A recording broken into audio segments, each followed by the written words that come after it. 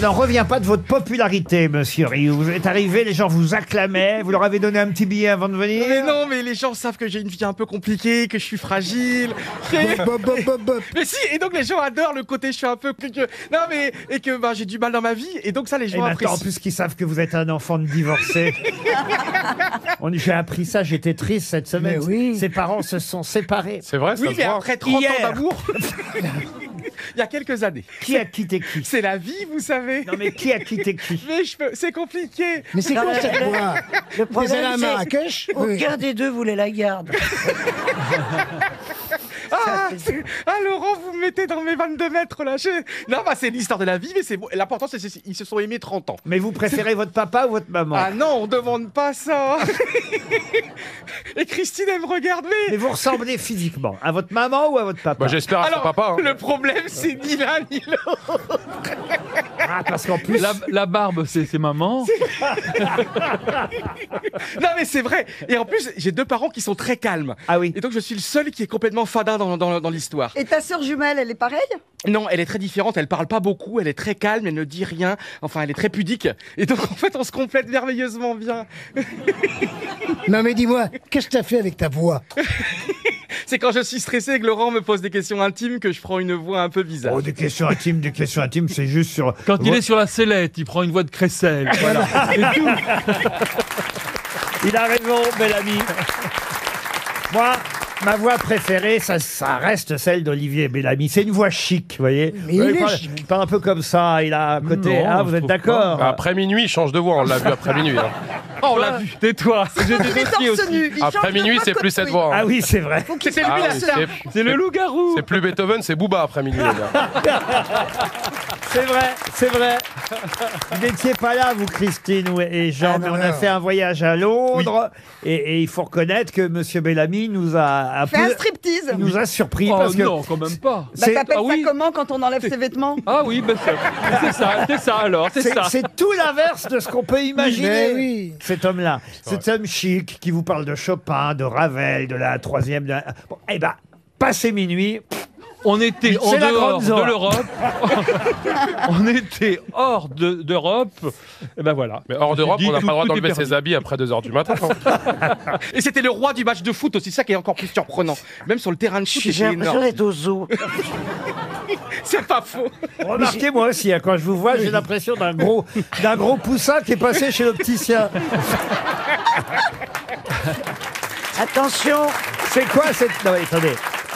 Maintenant, vous êtes monochrome alors. euh. vous êtes de la police Bah non, mais vous êtes tout en jaune des pieds à la tête. Elle a un petit Non, peu non. de Tout vert. est elle a un jaune, petit peu même vert. slip. Les dents sont, sont jaunes. Je les Mais tu ressembles de plus en plus à Jean-Pierre Coff. Mais non, mais. Non, et c'est un compliment, genre. C'est lui qui dit ça. Les lunettes rondes et tout. c'est- Le mieux, c'est peut-être Ouais, que, oui, ouais. hein, Oui. que je commence par Voilà. une citation, car je sens les auditeurs impatients qu'on passe aux choses sérieuses. Tiens, mais justement, puisque vous avez du caractère, hein, on aime dire ça de vous, chère euh, Christine. Voici une citation pour Madame Arc, qui habite Supers, dans la Marne, qui a dit « Quand on a du caractère, il est toujours mauvais C'est joli. Ah. Ah, Avouez, c'est joli. C'est vrai, c'est vrai. Euh, C'est Eh C'est un vraiment français. C'est un français. Un français. C'est quoi, c'est un, c'est un- un- quoi, c'est un humour C'est un moraliste. Non, ce n'est pas un humoriste ni un moraliste. Un homme écrivain? Un homme politique, oui, madame. Ah. Mitterrand. Chirac. Mitterrand. Non. Jacques Chirac. Jacques Chirac, non. Bon. De Gaulle. De Edgar Gaulle. Faure. C'est plus ancien que tout Edgar ça. Faure. Edgar Et Faure. plus ancien que fort. Daladier. Raymond Poincaré. Raymond Poincaré. Clémenceau. Clémenceau. Georges Clémenceau, Ah bonne réponse de Jean Benguigui. Merci Jean. Une citation plus récente pour Lydia Combe, qui habite à Brest, qui a dit « Je me demande parfois si Dieu n'a pas Alzheimer et s'il ne nous a pas complètement oubliés. Ah. Woody C'est Allen. contemporain. » Alors, ce n'est pas Woody Allen, mais ça aurait pu. C'est un juif américain. C'est vieux. Alors, c'est un Américain, effectivement, un Américain qui vit encore, qui a une cinquantaine d'années. Ah, qui est jeune Spielberg. Non, non, Il non. est écrivain. Ah, il n'est pas écrivain, il est acteur, il est humoriste, il est scénariste. Ah, euh, Ah, c'est un de votre bande. là, Jimmy de- Fallon de- voilà. Pas de Jimmy Fallon. C'est l'autre. Jerry Seinfeld. Euh, non, un spécialiste de l'humour noir, proche de Richard Pryor. Dave Chappelle. Dave Chappelle, bonne réponse de Az. Même pas qui fait. Qu'est-ce qu'il y a? Qu'est-ce qu'il y a? Je sais pas qui c'est. Ben, Dites-lui à ce qui C'est c'est un- qui humoriste euh, Ah noir. oui, oui, bah ça, merci. Pour Nicolas Robinson, qui habite la Madeleine, une dernière citation avant qu'on passe aux choses sérieuses, qui a dit, attention, hein, c'est très difficile, très ancien, qui a dit, c'est en enseignant que les hommes s'instruisent.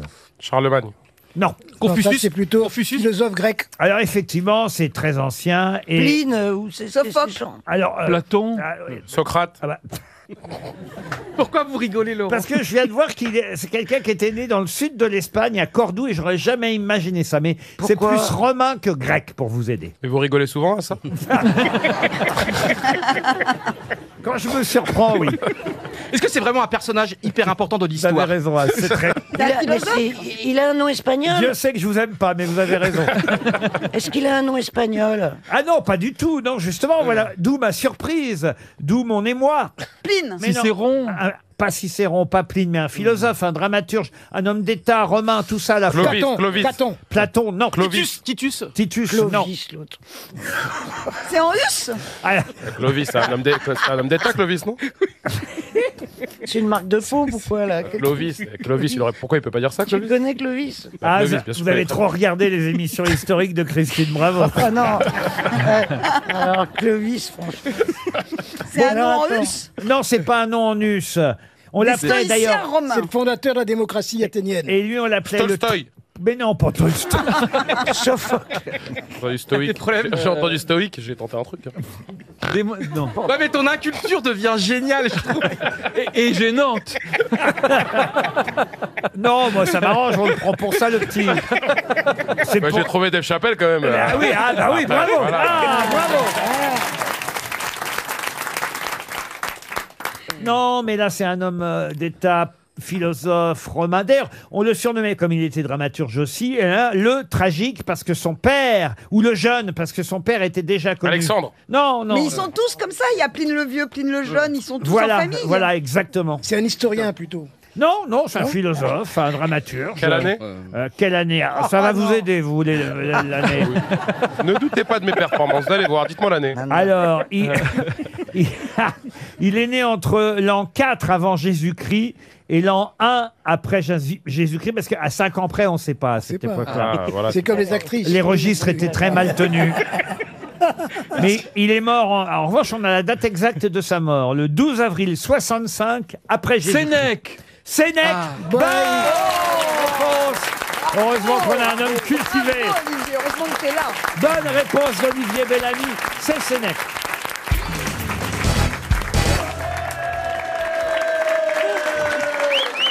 Soyez pas jalouse, Christine. Un jour, on vous le fera Mais aussi. c'est pas- Oui, alors ça, c'est non, moins mais sûr. ça, je m'en fous, mais tu vois, je- tu m'as pas vu pendant trois mois et t'en as que pour elle. Tu peux faire la voix sensuelle, Christine Mais Christine, n'a- vous n'avez pas de voix sensuelle comme Mais fais-le. Marcella. Essaye avec une phrase type, elle est belle, elle est belle, ma salade, par exemple.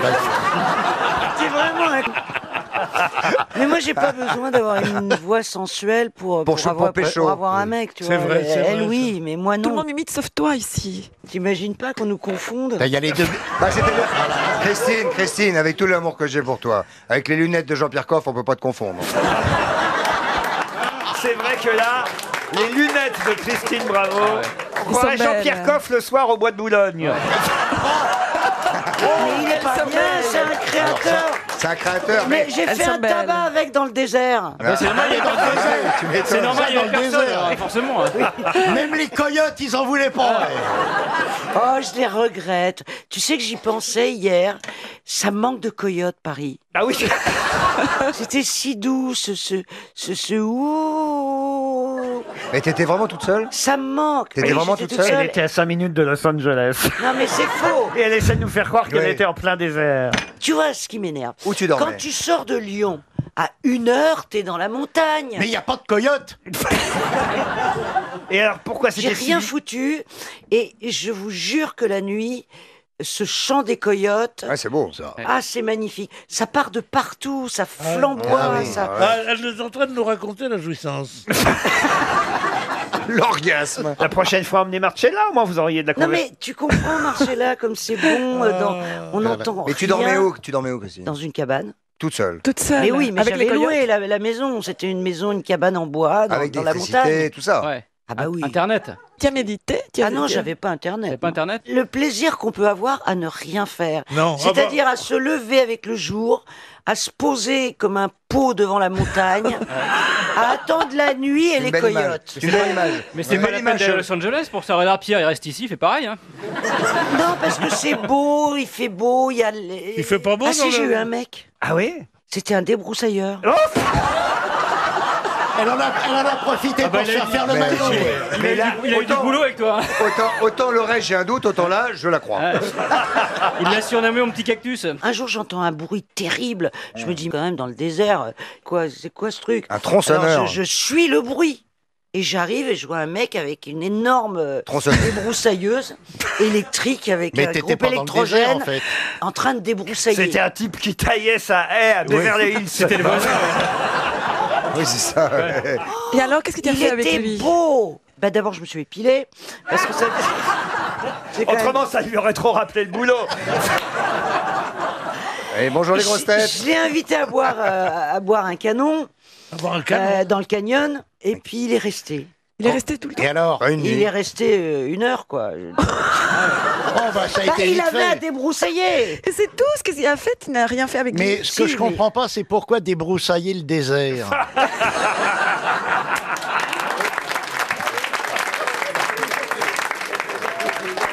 Il a raison, Péroni. Elle nous raconte vraiment n'importe Mais non, quoi. mais vous êtes. Il dit il y a qu'il était des. Non, c'est il y a pour des les incendies, sapins. c'est pour les incendies. Il y a des. c'est- c'est- c'est- c'est- Ah bah c'est pas un désert, c'est une forêt. Ouais. Non, c'est le désert Il y a de des Los sapins. Angeles. Elle était en Alsace, en Ouais. fait. Dans le Jura, t'étais à Mais saint qu'est-ce qu'ils sont?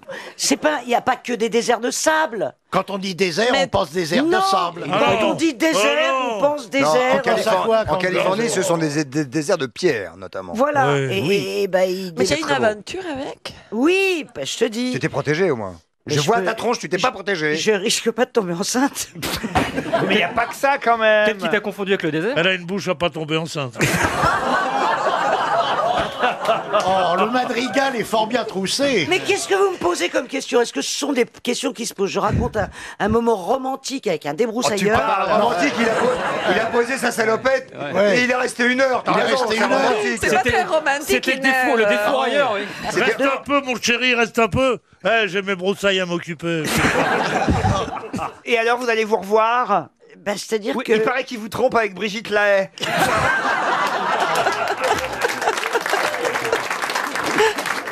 Comme quoi tout Non, mais monde- il est revenu tailler. Il est revenu. Il est revenu parce qu'il y avait des rosiers. euh, Ah, en plein désert, en des plein rosiers. désert. Oh là là là là Remarque, là elle va là. nous dire qu'il y a la Non, rose c'était des les rosiers sables. qui étaient au bord de la piscine, voilà. En ah, fait- il y avait Ah, une il y avait piscine. une piscine dans le désert. Mais oui, mais elle, avait la petite cabane témoin chez Jardiland. Non, non, il était beau. ouais, ouais. Je, je me rappelle pas de son nom, mais euh, Mais je l'appelais mon débroussailleur. je, je crois qu'on n'a pas eu le temps de se le donner. Et quel genre d'âge il avait euh 30, euh, 39, un truc comme ça. 39. C'est les coyotes maintenant qui doivent s'ennuyer parce qu'avant, euh, pendant ce- tout ce temps, ils entendaient Ouh Débroussaille-mi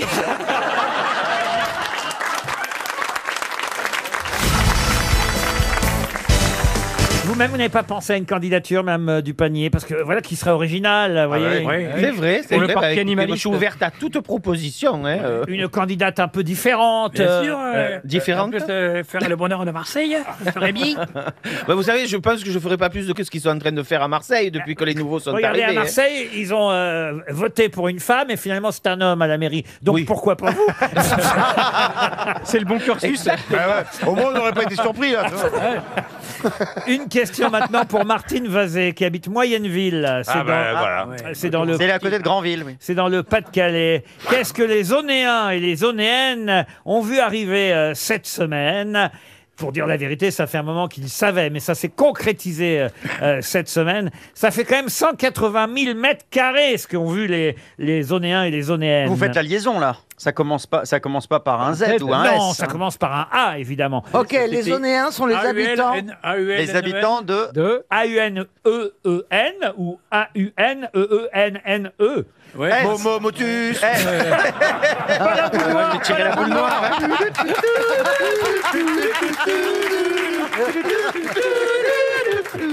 C'est en Lorraine. Ah.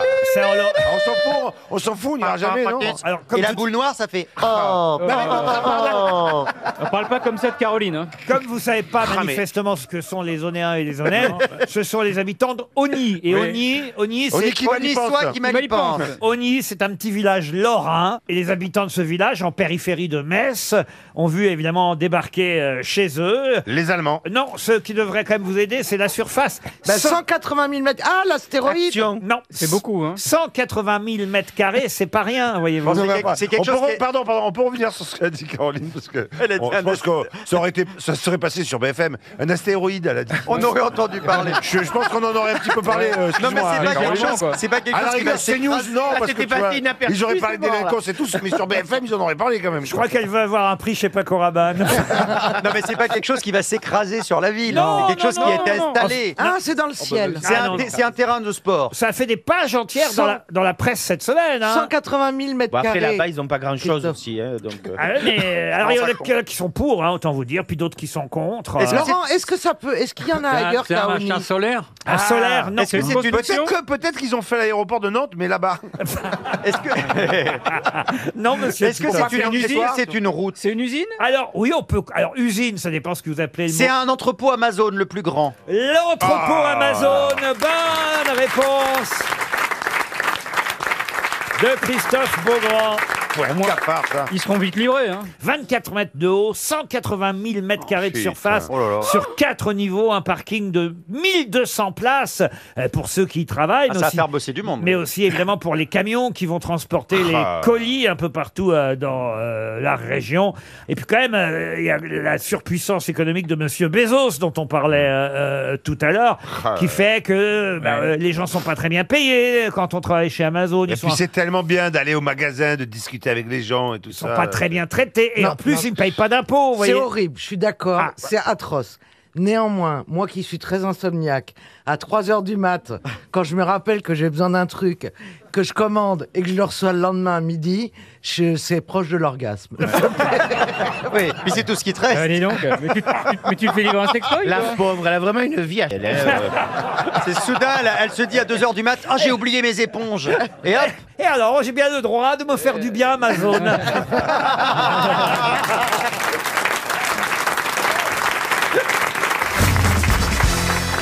Quelle célèbre œuvre commence par ces vers Il est des gens de qui l'esprit guindé, sous un front jamais déridé, ne souffre, n'approuve et n'estime que le pompeux et le sublime.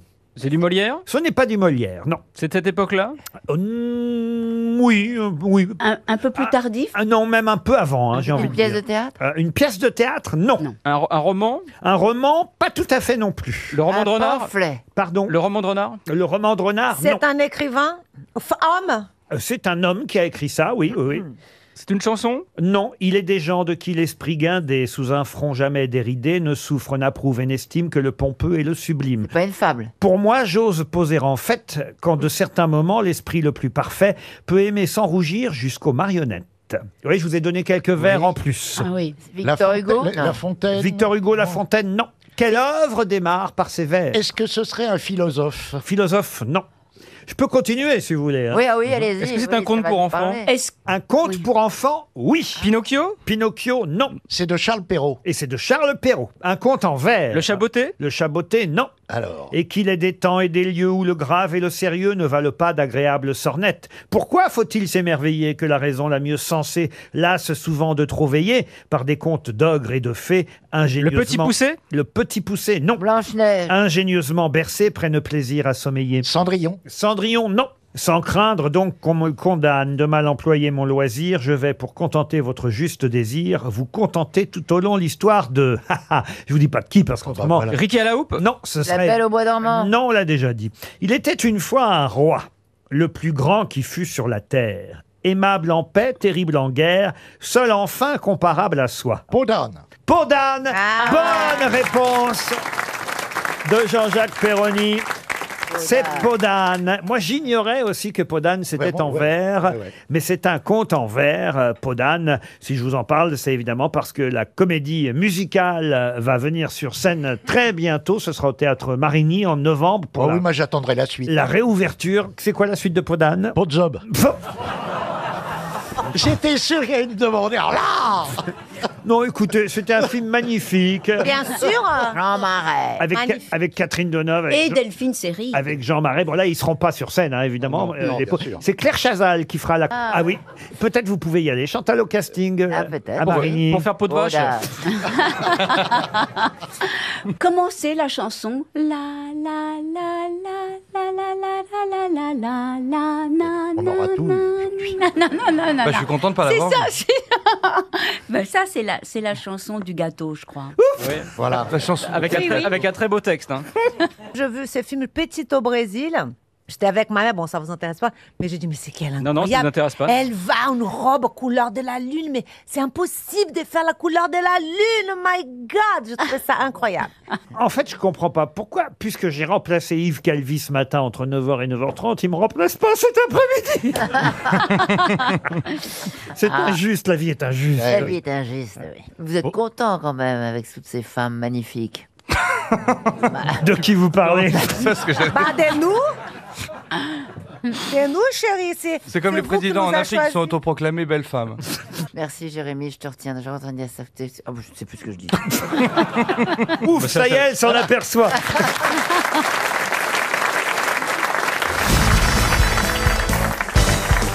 Pour Romain Mandrin, Monsieur Mandrin habite Saint-Florent-des-Bois en Vendée. Pouvez-vous me dire qui sont tout brave le lion, tout câlin le pingouin, tout costaud l'éléphant, tout courage le cheval ou tout dodu le cochon Alors, ce sont des trucs pour les enfants. Moi, je connais le dernier, moi. C'est pas- c'est pas des bisounours, mais. euh, Ah, ah, C'est les cousins des bisounours. les cousins des me rappelle. bisounours Bonne réponse Comment tu connais ça? Mais parce que j'ai j'ai une mémoire euh, qui ne sert à rien. Je, je me rappelle de trucs. Et est-ce que vous connaissez les noms des bisounours? Parce qu'au départ, c'était ça l'idée de ma question. Oui. Pourquoi? Parce que souvent dans la presse, et aujourd'hui encore même dans les discours des politiques, on, on parle de bisounours. C'est un mot qui est devenu, au fond, un, Oui. un mot commun. Parce qu'on Oui, dit, ah, c'est là, vrai. vous êtes vraiment trop bisounours. Ah, on est dans Les une politiques société, le disent tout le temps. Dans une société de bisounours. Ah, Et je me suis dit, tiens, mais au fond, c'est qui les bisounours? Donc, Alors- je suis recher- j'ai- j'ai- j'ai- Allez, vas-y. Il y a gros câlin, Bravo. il y a gros taquin, Oui. il y a gros bisous, je crois. Gros dodo. Ah, gros dodo, oui. Il y a pas. gros gâteau. Gros Ah, jojo. Un gros gâteau, c'est. euh, Gros c'est- vénard, C'est Bernard. gros chéri, gros nion, gros bisou, gros dodo, gros farceur. Voilà les vrais bisounours. Bravo Christophe Beaugrand. Et voilà, voilà pourquoi je suis sur LCI le week-end. Je Voilà. vous emmène C'est la maintenant. culture, les amis. Je vous emmène maintenant dans un hôtel du Morvan, les Grillons du Morvan, un hôtel euh, restaurant. Ah oui, vous faites le bruit des grillons, c'est gentil. De rien. Et, Je peux faire le bruit des fourchettes. et, et- et d'ailleurs là-bas, il y a une plaque euh, dans ce restaurant, hôtel-restaurant. et même dans la documentation de presse de ce restaurant, j'ai fait les recherches. euh, je me demandais est-ce qu'ils en parlent? Bah oui, ils en parlent. C'est jamais vraiment une, une publicité. Oh, mais C'est jamais une C'est pas le, publicité. c'est pas le, le restaurant où Mitterrand a parlé le soir de l'élection. là? Non, c'est un c'est le hôtel vieux Morvan. restaurant où quelqu'un est mort en 1893. Il est toujours ouvert? Et il y a une plaque aujourd'hui. Oui, c'est toujours Ils ouvert. l'ont retiré du lit, non? Ah non, ah oui. Ça doit sentir. ça. Et ma question, tout simplement, c'est qui est mort au grillon du Morvan? Un écrivain? Un écrivain, euh, non. Un homme politique, voyou, un un homme politique. politique? Un homme politique, non. Un voyou Un voyou, non. Un artiste. Un artiste, non, Un- un- plus. non plus. Il faut que je vous explique que s'il est mort dans cet euh, hôtel-restaurant du Morvan, c'est parce qu'il était en excursion dans le Morvan avec euh, deux de ses étudiants pour découvrir euh, la région. Et il, est mort, Stevenson et il est mort subitement d'un œdème pulmonaire dans cette auberge. Donc c'était un Ah. Ah, professeur. c'était un, un explorateur alors. Alors, explorateur. Alors, c'est marrant que vous disiez explorateur parce que lui n'était pas explorateur, Ah, c'est mais marrant. son fils l'était. Tazieff non Tazieff, non. Le père comme le fils sont célèbres. Ah Ah d'accord. ouais. Mais Ah bon est-ce que c'était Des des français- places, des- français ou anglais? Ah non, non, français, madame, euh, français. Très très très connu Laurent, il faut quand même être un peu lettré pour connaître. Oh, vous, vous connaissez parce que vous vous intéressez à la santé. Ah, donc- c'est lié à la médecine. Ah, Ah oui, oui. Ah, Ah, pasteur. Pasteur, ouais. Pasteur, non. Cartier. Lavoisier. euh, Lavoisier, non. Aspro, Aspro, Copé. Copé, non. Aspro. Non, non, non, non, non. Il a, il a fait des découvertes scientifiques? Le, le fils, euh, effectivement, était médecin lui aussi, mais le fils est devenu vraiment explorateur, alors que le père était, on va dire, un peu sportif. Michel Simès. La Non. Hennec. La Hennec, non, non, non, non, non. Et, et son nom, est dans- il y a un hôpital qui porte son nom. Absolument. À Paris. Bichat. Euh, euh, Bichat, non, non, non. non. Il a à voir avec Paul les maladies Brossard. exotiques. Paul Brossard. Quelque chose avec les maladies exotiques. Ambroise Paul Paré. Brousse. Ambroise Paré, non, non, non. Non, pas Paré, c'est. le Monsieur américain Euh, Comment vous dites Monsieur américain C'est le seul hôpital que tu connais. Ah oui, l'hôpital américain. Necker, non. Necker, non, non, non. Non, mais je vais dire, c'est les maladies euh, tropicales qui, dont il s'est occupé. Non, pas des maladies tropicales. Non, non, non, non. Il est connu parce qu'il a fait des découvertes scientifiques, il a fait des découvertes. Il Absolument. a fait avancer la médecine. Absolument. Est-ce qu'il a, est-ce qu'il a La inventé- radiologie. La Il a donné son nom à quelque chose en médecine, vraiment Euh, Au- oui, Au-delà oui, d'un oui, d'un oui, oui, hôpital même une maladie d'ailleurs. La maladie Ah, de Crohn. Lyme. Charcot. Pardon Ah, Charcot. Charcot. Charcot Bonne réponse de Bernard Mabille. Bravo.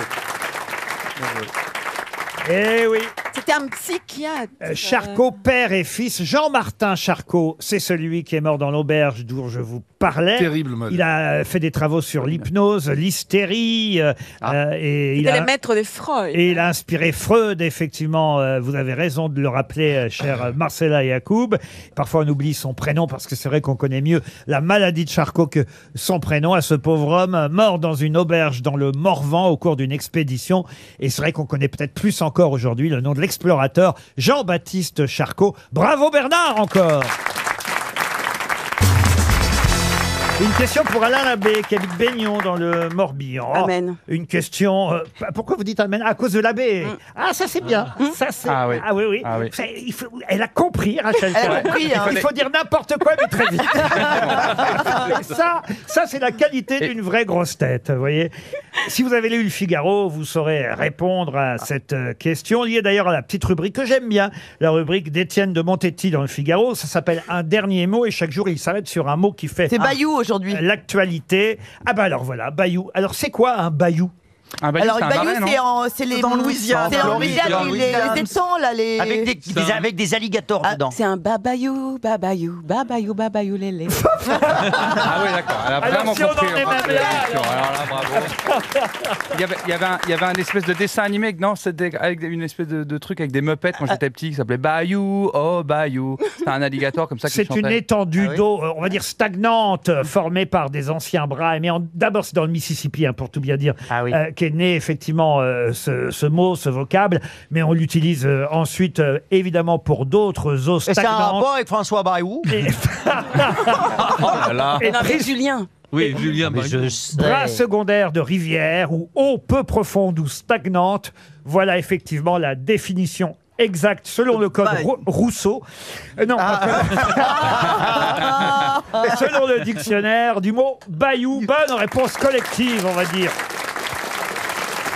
Alors là, je vais vous parler d'un président euh, brésilien que tout le monde ne connaît pas forcément. Il fut d'ailleurs le premier président gitan du Brésil. Kenji.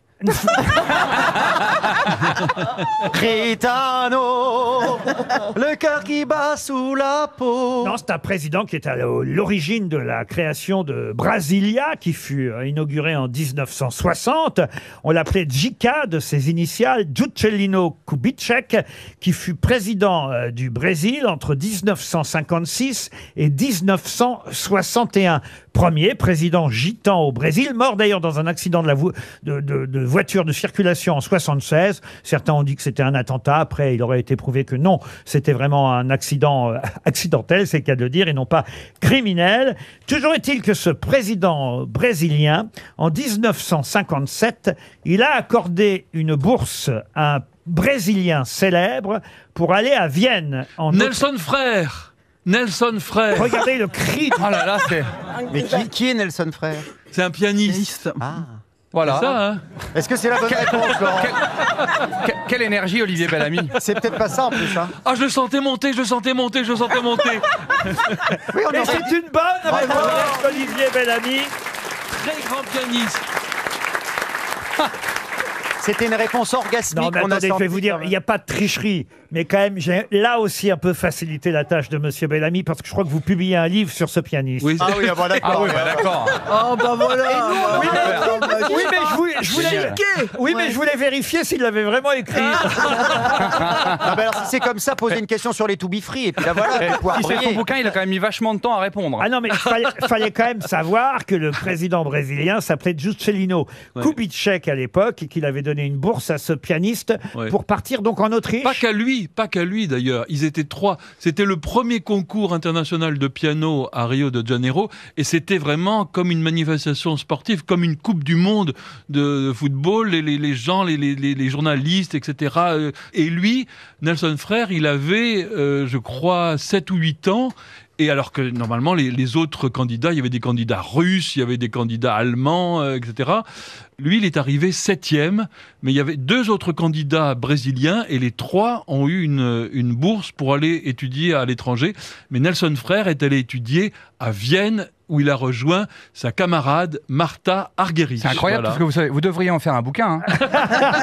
Ah bah il en a fait même plusieurs. euh, Le dictionnaire amoureux du piano, entre autres. Qui joue du piano ici Monsieur Beaugrand, vous jouez? Non, non, non. Ah, Gaël Chakalov. Cheval, bah, ça piano. euh, voilà. Il nous manque Voilà. le golf. Bon, elle doit en faire aussi, je pense. Ah, Roselyne Bachelot joue du piano aussi. Debout, debout ou Oh, bah si, oui. Quand est-ce que vous jouez, euh, Roselyne? Qu'est-ce que tu joues surtout, Roselyne ah bah, Qu'est-ce que tu joues? conservatoire, c'était l'impromptu numéro 4 de Schubert. Que Ah, Ah, quand même Ah, faut le jouer très à t'as plat. t'as dit la li, la li, la là. Ah oui, on reconnaît bien là. ouais. Et tu sais, tu sais, tu sais jouer Lucie de Pascal Obispo ou pas? Non. Et vous, Chakalov, quand est-ce que vous jouez? Moi, je joue, je joue mal, mais ce que, je- ce que j'adorais jouer, c'était Bach.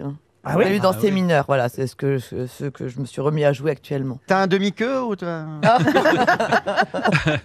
Non, j'ai à Paris, j'ai un piano droit, mais euh, dans le sud, oui, j'ai un. Ah oui, parce qu'elle a plusieurs euh, villégiatures. À la campagne, à la campagne, elle a un piano à à la queue. campagne. Alors dans mon ranch à Fontainebleau, voilà, je joue au piano pour détendre mes chevaux.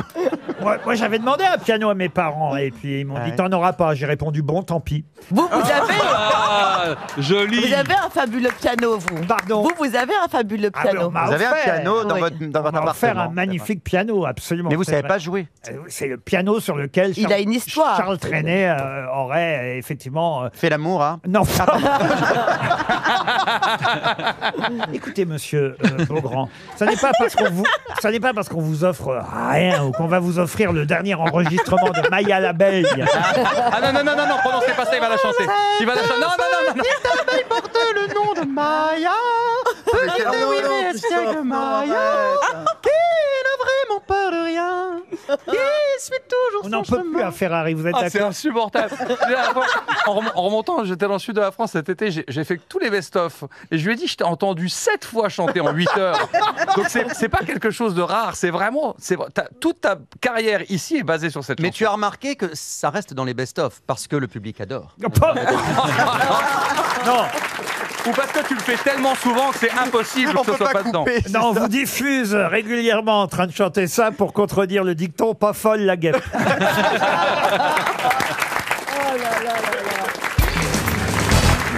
Je ne sais pas si les autres grosses têtes seront d'accord avec moi, y compris Madame Bachelot, qui déjà a quelques semaines dans les jambes. hein. Voilà, Ah exactement. oui. Vous êtes J'ai pas que ça dans les jambes. C'est vrai, vous êtes maintenant carrément, euh, on peut dire, un de nos piliers des grosses têtes. Ah, vous parlez de ses jambes C'est gentil de, dire- de parler des jambes de, de- On dit en disant un des piliers, non mais, mais je pense jambes. que vous serez tous d'accord pour dire qu'elle fait un parcours exemplaire, Ariel. Elle nous a convaincus, mais tel un volant de badminton. À mon avis, elle part un peu vite. Gérard, vous avez tourné déjà, vous, avec Ariel Dombal Non, jamais. Mais non, c'est étrange. Et... mais- C'est vrai.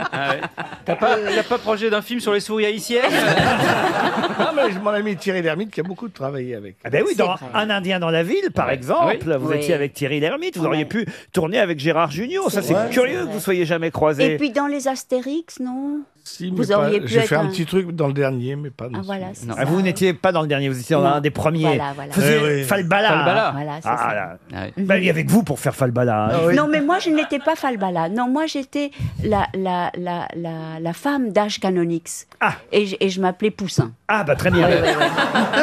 C'est avec Sim, avec Sim. Bah, c'est pour ça qu'elle aime faire bien dire les discours. Je déteste, je déteste ce- cette bande dessinée. Astérix Non, Non, non, elle a du Je charme. déteste ça. Voilà, j- j'ai envie de me faire naturaliser slovaque plutôt que d'être du même pays que Astérix et machin. Et la la la Rix, c'est trop. là, là, là, Peut-être, mais là, la là. potion magique, ça vous ferait du bien Oh. quand même.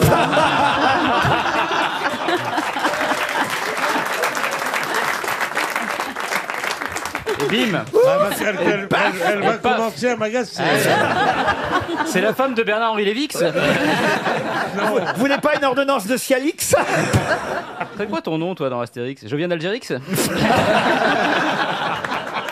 Pour une fois que je voulais emballer, voilà, il faut que vous me marchiez sur la tête tous. là, vraiment. Bah non, Pierre. On vous Non, a- non, non, mais on- tant pis. je On m'en vous fous. aime beaucoup, puis vous allez briller avec la question suivante. Une question pour Monsieur Brousse, donc, de Vineuil, dans le Loir-et-Cher. C'est assez, euh, non pas rare, mais important de savoir quand même quand nos peintres français sont exposés à l'étranger, quand il y a une exposition entière qui leur est consacrée. C'est vrai qu'on parle toujours des grandes expositions chez nous en France, et on ne dit peut-être pas assez quand il y a un peintre français honoré à l'étranger. Et actuellement, sachez qu'au Prado, à Madrid, il y a toute une exposition consacrée à un peintre français né à Montauban, mort en 1867 à Paris. Et évidemment, ma question, c'est de quel peintre français s'agit-il? Ingres. Ingres, excellente réponse de Roselyne Bachelot. Dominique Ingres ou Jean-Auguste Dominique Ingres, si vous voulez, euh, tous ces prénoms, celui qui évidemment était musicien aussi, hein, d'où la fameuse expression Le violon Ingres. le violon d'Ingres, car c'était son, son deuxième passe-temps, la musique, après la peinture, d'où Et dont le tableau le plus connu, c'est la belle Odalisque.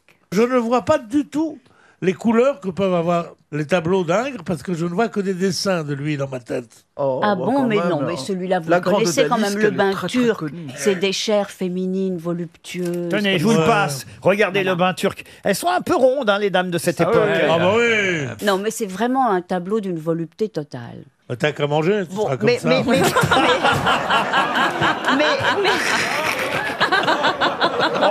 Oui, oui, t'as qu'à avec tes empereurs. mais non, parce qu'il y, a- il y il aussi, il y a aussi les pauses qui comptent et puis la Ouais, mais les pauvres, ça vient tout seul. Ouais, ben oui, Quand mais- tu manges bien, t'es un problème.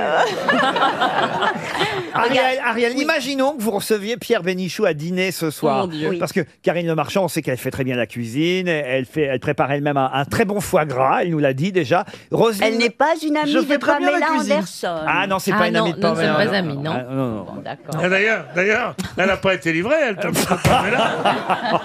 Pamela, elle a été livrée. hein. Et vous, Ariel, vous allez recevoir, imaginons ce soir, Pierre Bénichou, parce que comme ça s'est bien passé avec euh, Pierre Oui. aujourd'hui, vous dites, tiens, Voilà. je l'invite à dîner ce Oui. soir. Oui. Qu'est-ce que vous lui faites à, à manger? Eh bien, je lui ferai euh, quelque chose qui est assez démodé, mais qui est Ça lui ira bien. même... Ça lui ira bien. Ça commence bien.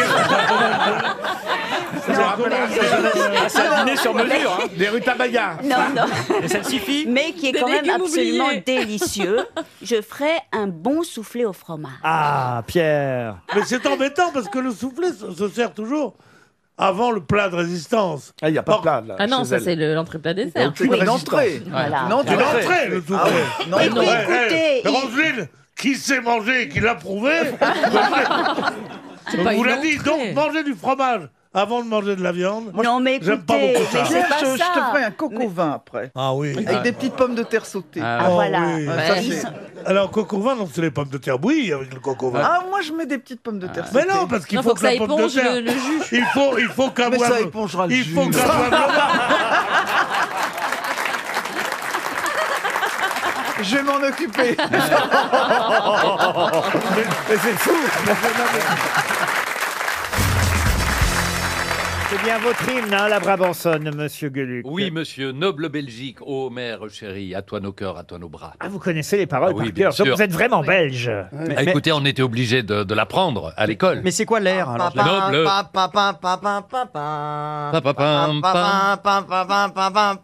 Une fois Oui, encore.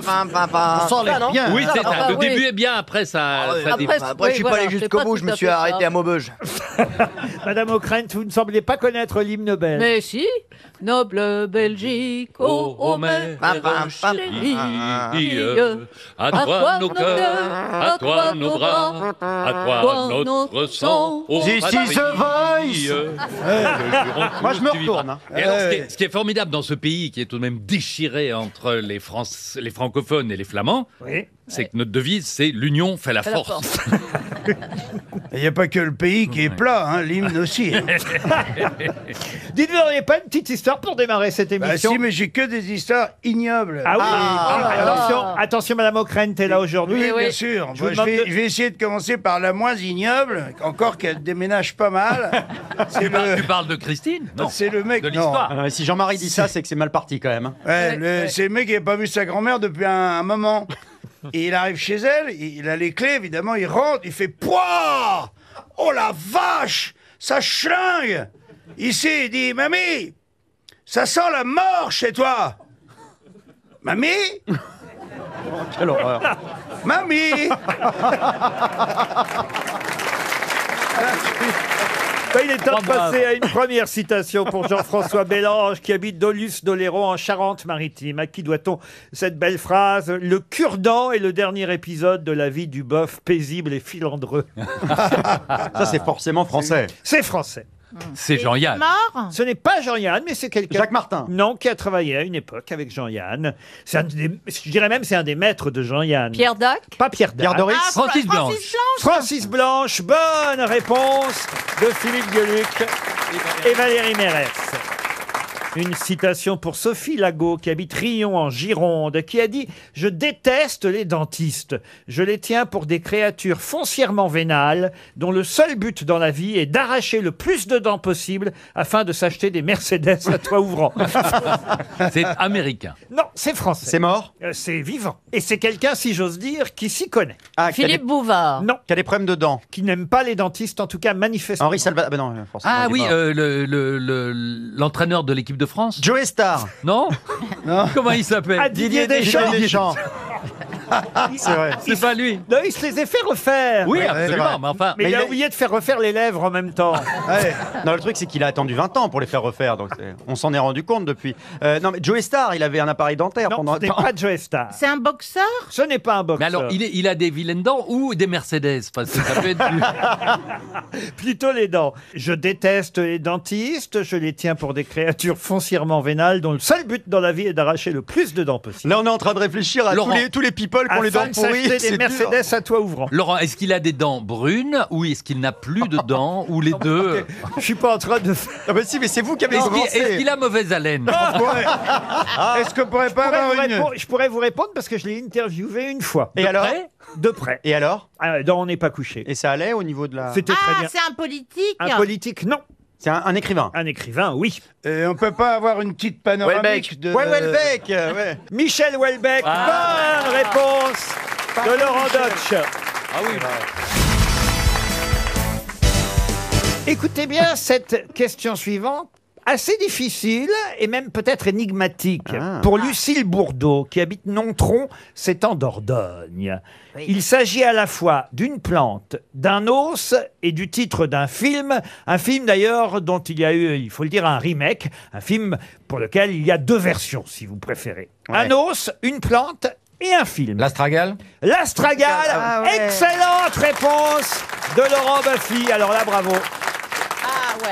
Avec Marlène Jobert. Bravo, bravo. Alors, Avec Marlène Jobert. La première version, effectivement, de l'Astragale, c'était avec euh, Marlène Jobert, un film sorti en 1968. Il y avait d'ailleurs, en plus de Marlène Jobert, il faut le dire, Magali Noël, Jean-Pierre Moulin. Et il y a eu une version beaucoup plus récente, là, dans les années euh, 2000, en 2015, un film réalisé par euh, Brigitte Si avec Leila Bekti et Reda Kateb, qui s'appelait aussi l'Astragale. C'était une nouvelle version. Et l'os, l'Astragale, vous savez où c'est Dans le pied. Le talon. Derrière, c'est dans le talon. Voilà. Et la plante, alors la plante? Alors, je ne sais pas. Ah, ah, vous ne connaissez pas la plante Bah, pareil, c'est dans la salle pente des pieds, c'est dans le pied, tout est dans le pied. Mais est-ce que vous pourriez nous la décrire, qu'on se rende compte Alors il y en a de moins en moins et Ah. voilà pourquoi d'ailleurs euh, il faut dire on replante euh, cette espèce euh, végétale Ah euh, typique euh, du sud de la France plutôt euh, l'astragale et, et c'est vrai que voilà on connaît peut-être plus l'os euh, ou le film. Je pensais que c'est Valérie Mérès qui aurait Oui, mais il me l'a arraché de la gueule. Hein. Oh, Moi, moi, j'allais le alors, dire moi, et je puis voudrais il l'a dire- dit. Alors euh, voilà. Oh, oui. Vous dites un os. oui. Alors qu'on dit un os. Oui, c'est vrai. Un os, oui. Excusez-moi. Non, un os, un os. Excusez-moi, jamais je ne fais. hein, vous êtes le patron. Mais- Non, mais Chantal a raison. On dit un os et des os. On dit pas un Ouais, os. j'ai raison, on dit un os. On dit un os. Vous avez un accent euh, du Nord, vous, ch'ti Oui. Bon, bah moi j'ai un accent du Havre. Et au Havre, Eh on dit voilà. un os. Eh ben c'est bien, c'est bien, vous le, vous le revendiquez, c'est parfait. Voilà. Oui, et puis bon, un os ou un os, on comprend, hein. Merci Valérie. Enfin, enfin. C'est ça, bien sûr. Oui, mais ça peut être, Ça fait ça engueuler. peut être la hausse des prix, par exemple. Je devrais dire un os. Oui, un, Un os. os. Un os. N'est-ce pas, Roselyne Parce qu'en Ouais. principe, os, c'est AU en fait. Voilà, la c'est hausse ça. des prix. La Le hausse son des os prix et Les un os, un j'ai l'impression que vous avez oublié que c'était moi le boss.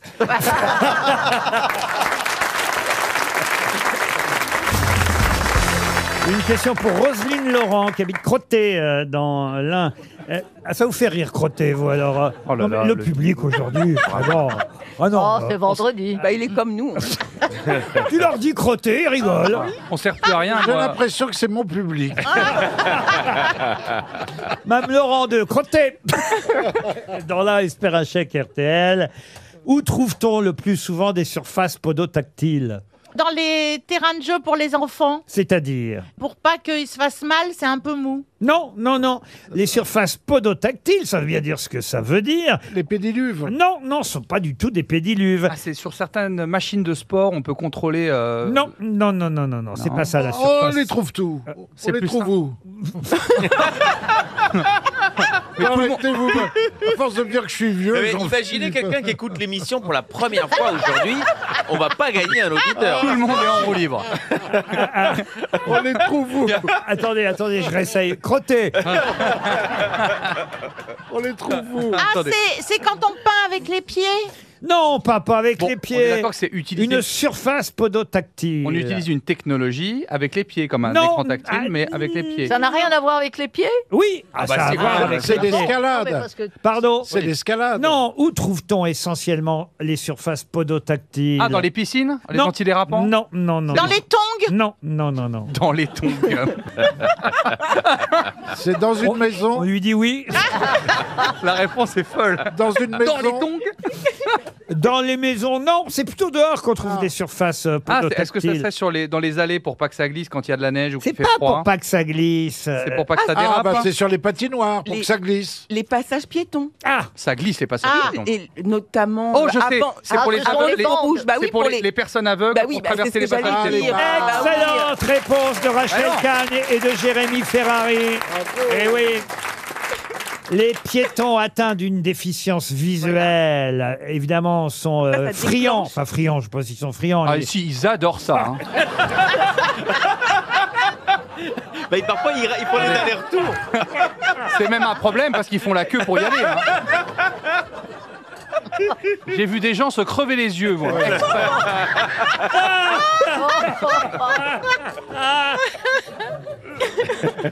Vous m'avez compris, moi. Je veux dire, friands, ils, ils Vous sont, voulez tellement mettre de l'intention partout. ils sont contents, ils sont contents. en tout Ah, cas. ils sont contents, ils sont contents. Ah, ben, C'est au-delà. c'est Ils sont au-delà. contents, ils sont Mais moi, je contents. comprends Ils n'en croient pas leurs yeux.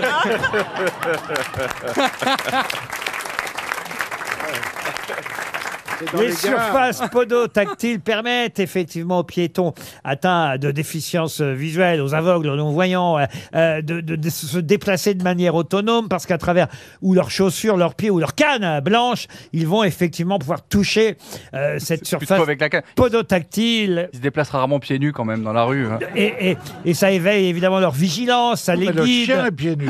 Ah oui. Ah ben, ça me rappelle cette histoire, tiens. Il y a longtemps que je ne l'ai pas raconté, Bernard. Racontez-la, Laurent. Ah bah, c'est un, un aveugle avec son chien et ils sont là et ils attendent pour traverser euh, et, et le feu passe au vert, le- l'aveugle ne traverse pas, le chien non plus. Euh, il attend, euh, le feu passe au rouge, puis il repasse au vert, ça y est, le chien traverse toujours pas. Alors, il y a, quelqu'un qui observe de l'autre côté, c'est un commerçant qui est sur le pas de sa porte.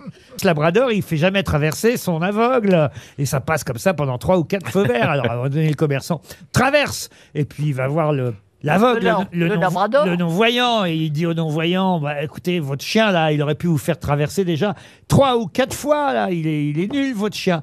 Et là, alors évidemment, l'aveugle sort un sucre de sa poche, et il donne un sucre au labrador. Et le gars lui dit, bah, enfin, vous récompensez votre chien alors qu'il est même pas capable de vous faire traverser. Et là, l'aveugle lui dit, non, c'est juste pour savoir de quel côté je vais lui mettre un coup de pied au cul. Elle est mignonne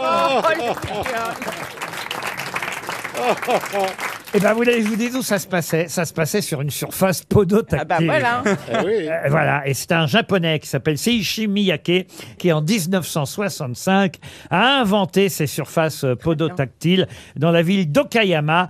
Euh, c'est là où pour la première fois on a vu ces surfaces. C'est vrai que c'est plutôt, mais même pour nous, hein, d'ailleurs, il devrait y en avoir plus souvent des. Il devrait y en avoir, je vais vous dire où, devant les plaques d'égout. Moi, je suis tombé deux fois de suite. Mais non. il n'y a pas Non. plus Ouais. glissant Non, qu'une plaque d'égout. Ah, d'accord. L'autre jour, je suis tombé deux fois de suite. Dans, dans un égout, vous êtes tombé deux Le fois même dans un égout Non. Le deux- même Et la Ah, même plaque, ah oui, la vous avez même glissé, plaque. ouais. Non, justement, pas la même plaque. Je vous jure, j'avais honte parce que les gens me voyaient et, et dans ces cas-là, on est toujours un peu honteux. Mais Voici, voici. j'avais mis des chaussures qui glissaient, sûrement, j'en sais rien. Je promenais mon chien. Ah, Vous auriez glissé sur une surface podotactile, personne vous aurait vu. Non, mais c'est vrai. Première, première plaque d'égout, il tombait des cordes. Première plaque d'égout et paf, je m'arrive le, mais le, le, Le cul en chien, l'air. le chien n'a pas glissé. Le chien la laisse d'un côté. Faut Alors, les paf, éviter. je me relève. Là, je vois qu'il y a un, Bravo. auto- un autocar qui m'a vu glisser par terre. Et ils se sont marrés. Oui. Et là, je- je- j'ai envie de, de- Ouais. Je reprends ma dignité très vite, en trois secondes. À peine je reprends ma dignité, mon chien, mon téléphone qui avait giclé, que sur une Attendez, qui- deuxième plaque d'égout, il n'y a pas 30... Mais je vous jure, hein, il n'y a pas 30 secondes qui se sont passées entre les deux Non, mais il d'égout. faut pas habiter Neuilly.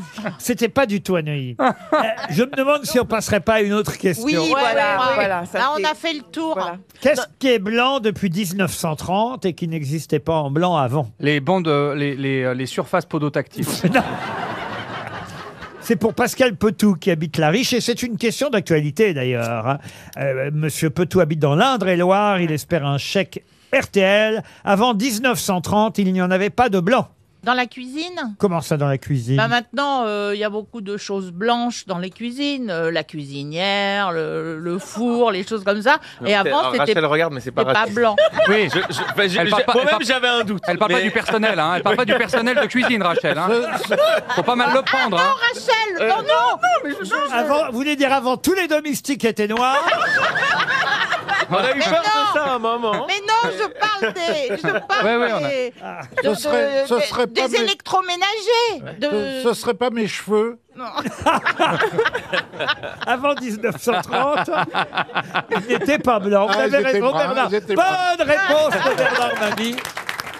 Est-ce que c'est sur la voie publique Oh, si vous le laissez traîner Est-ce- sur la voie publique, Est-ce mais que c'est autrement un non. vêtement professionnel Ah, Non, les non. mouchoirs, les Non, mouchoirs. c'est pourtant très facile, très simple. hein. Ah, c'est peut-être les slips, non? Ah, vos slips et... Ah, moi, j'ai du vieux kangourou. Alors attendez, c'est un objet du quotidien? Non, c'est pas un objet. Ah, Est-ce que c'est quelque chose qu'on prend quand on sort de chez soi? Bah, si, si on en a l'usage, mais pas Le forcément. parapluie quand il pleut. Non, non, non, non, non, non. Il n'y en avait pas de blanc avant Est-ce 1930. que ça se mange? Ça se mange, oui, Ah. monsieur. Ah, le chocolat Le chocolat Bonne réponse de Bernard Mabille. C'était tout simple.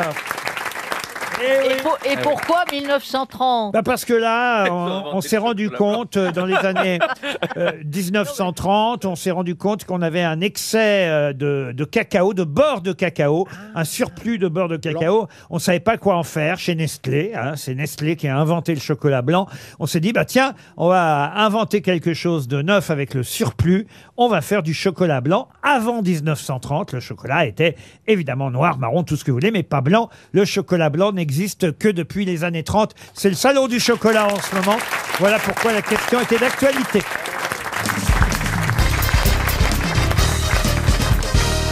Et la question concerne un seigneur, un seigneur dont on ignorait au départ que son corps était couvert de plumes. Et puis petit à petit, tous les courtisans et même le roi l'ont su, car cela a été éventé. Mais comment appelle-t-on cette célèbre histoire? Ça me dit quelque chose. C'est le roi et l'oiseau, non Du tout.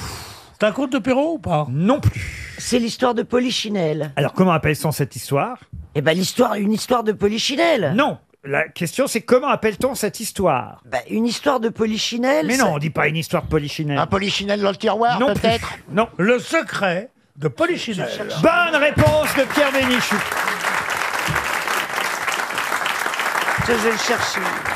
Eh oui, le secret de Polichinelle. D'où l'expression. Ça vient d'une histoire de Polichinelle qui apprend au roi l'infirmité cachée d'un seigneur qui danse mieux que le roi et le roi veut savoir pourquoi ce seigneur danse mieux que lui. Eh bien, tout simplement parce qu'il a le corps couvert de plumes. Et voilà pourquoi il est plus léger que les autres. Et petit à petit, qu'est-ce qu'il fait Polichinelle? Eh bien, il le raconte à tout le monde en disant surtout ne le répétez à personne. Et voilà. Et ça devient le fameux secret de Polichinelle. Vous avez été aidé par Christine Bravo, il faut le dire, qui a trouvé Polichinelle, mais qui n'arrivait pas à rappeler le mot Eh ben, je- secret. je Il faut dire retrouvais que c'est pas un le mot mot secret qu'elle connaît pas.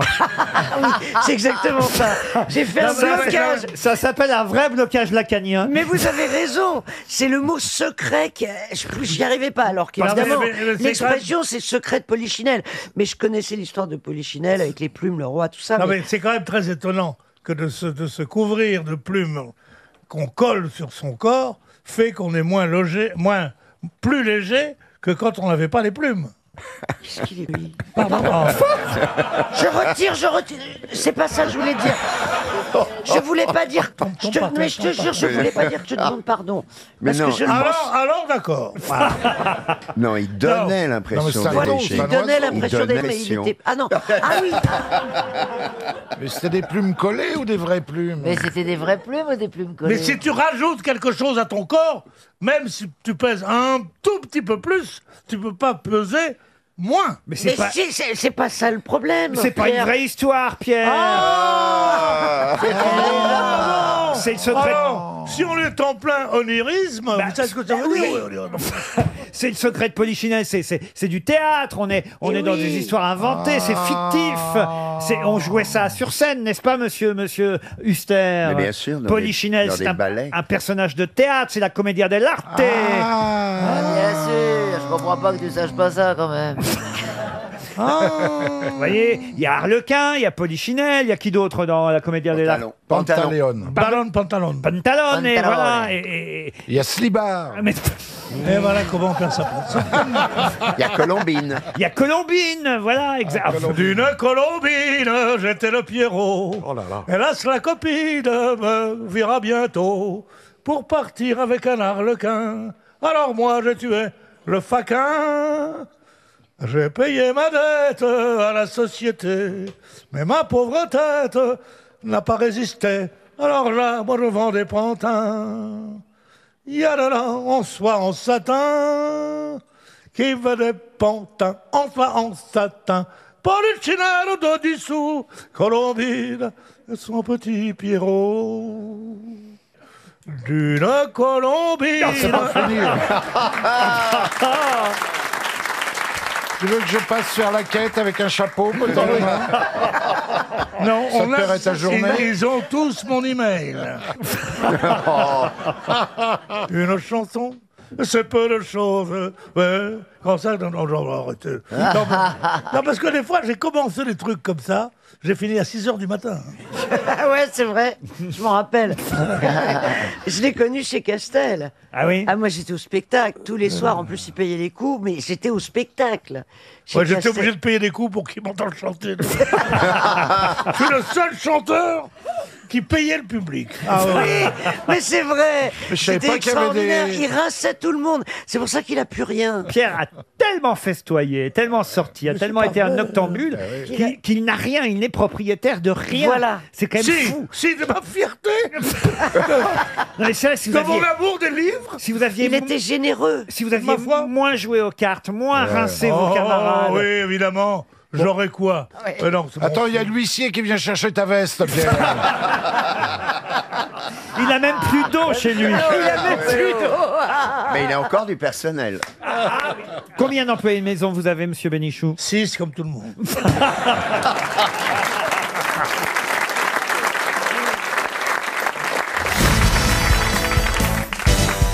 Qu'est-ce qu'il y a, Christine Bravo, vous ennuyez? Euh, non, ouais, euh, je fais attention parce que je me suis mis un vernis blanc et il est fragile. Ça, c'est intéressant, par Ah ouais, c'est. Eh ben, parce que j'étais euh, hier en duty free, alors euh, puisque je reviens de Malte, euh, ça, ça m'intéresse. Mais ça Et fait donc euh, j'a- j'étais un peu en avance, donc j'ai fait le. Quand vous dites revenez de Malte, pure Malte ou la... Et, et- et- et puis au duty free, euh, je regardais les produits, puis j'ai acheté un, un vernis. Alors. Je voudrais savoir, est-ce que c'est vraiment moins cher en, en- en duty free les trucs? Mais dis-moi, Bah t'as oui, pas c'est des problèmes détecté. d'argent Vu la gueule du vernis, sûrement. Mais Christine, t'as des Ah oui, problèmes que d'argent, c'est pas C'est possible. plus la mode, ça c'est c'est le vernis qu'ils mettent dans les films de. On met plus de vernis Mais blanc. c'est la plus première mode. fois que je vous vois avec du vernis à ongles en Bah plus. oui. Mais ça va pas la tête. Ouais, euh. J'ai tout. Merci. Oui, j'ai bah. toujours du vernis. Ouais, je l'on suis a, une ouais. femme. Merci de Et, et préciser. mon, mon- mon fiancé me l'a encore dit à Malte. Ah oui Tu es une femme. Ah, ça s'est bien passé le voyage avec votre Ah, fiancé C'était une euh, question. Alors, c'était extrêmement formidable. C'est une ville magnifique. Alors, on était dans un super hôtel 5 étoiles. Enfin, 5 étoiles Malte. On, on a les moyens chez les bravos, hein Ah, c'est pas moi, c'est mon fiancé. Oui, oui. tu- Euh, oui, il, il- Il est armateur, en fait. il va bientôt hériter. Donc, euh, tu vois, c'est Ah ouais, pas drôle. T'auras hein. plus à, à Ah enlever bah. les Euh, données à l'étranger quand t'es à l'étranger. Attendez, attendez, sa mère est pas morte qui dépense déjà l'argent Ah oui, mais en fait, c'est la Ah, c'est dame qui moche. voulait pas être enterrée par Ellie, en fait. C'est Voilà. la, Ah non, mais c'est moche. c'est la dame que vous avez mis dans les pannes Ouais, sans qui a- chauffage. qui a payé le voyage Ouais, à Malte Ouais. Là là. Ah non, elle est repartie de Paris parce qu'ils lui pas à bouffer. Il n'y a pas d'activité, ils bouffent pas, ils ont froid. Donc on l'a Un renvoyé. peu comme ici.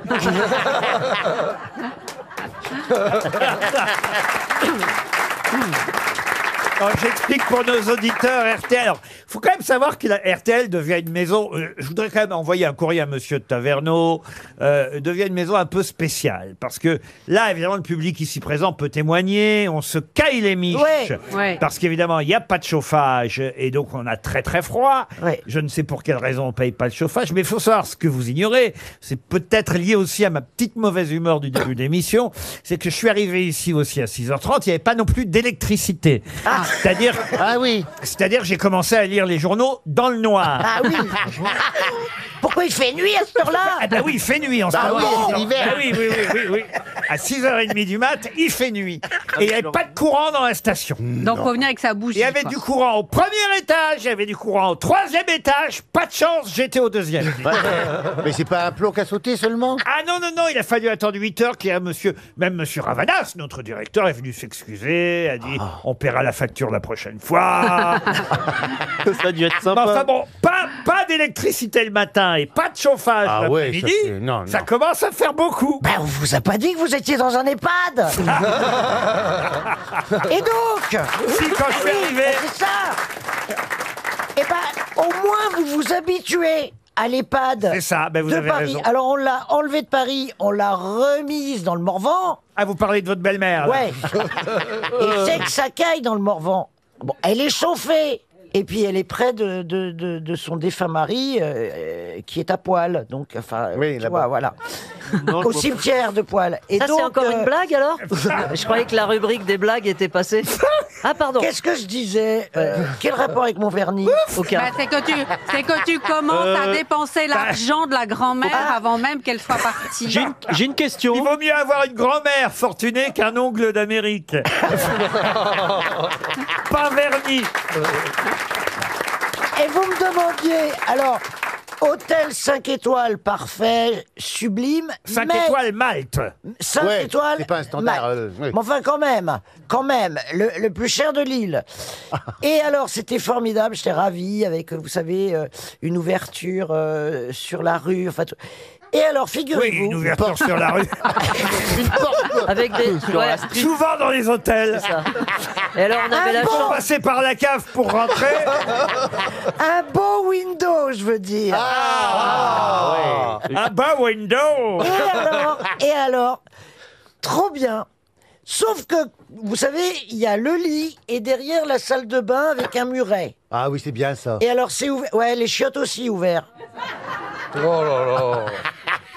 Oui. Alors, mon mec, il a passé le week-end sur le balcon. Ah oui, c'est pas Parce possible. que tu, c'est pas- tu peux pas aller aux toilettes Ouais, non. euh, quand t'as les toilettes dans la chambre à ciel ouvert. Ah, tu si l'amour. vous, oui, vous allez aux toilettes à ciel ouvert. Non, moi je prends toujours des chambres où les toilettes sont séparées. Non, vous, vous prenez des chambres où il y a deux toilettes. En plus, Voilà, mais moi, j'ai pas vos moyens. je sais. Les auditeurs, ils vont se faire. Tu sais pas qu'il y a un mec qui m'a appelé de, de, de, de- dis donc, de Téléstar, qui me dit, vous avez euh, accordé une interview aux Parisiens où vous disiez que votre amoureux était en faisait trop pour vous, était trop collant. Je lui dis, mais ça va pas la tête, j'ai jamais déclaré ça aux, aux Parisiens. Figurez-vous que tout ce que vous dites ici, tout ce que vous dites ici, ça se retrouve dans les journaux. Ah oui, je confirme. Bah oui, oui, c'est vrai. Ils en font des Bah histoires. oui. oui, oui. Mais c'est pas normal. Bah, c'est. Non, parce qu'on est entre nous, on n'est pas écoutés. Hein Elle, vi- elle vient d'apprendre un truc. Non, on savait pas que c'était diffusé.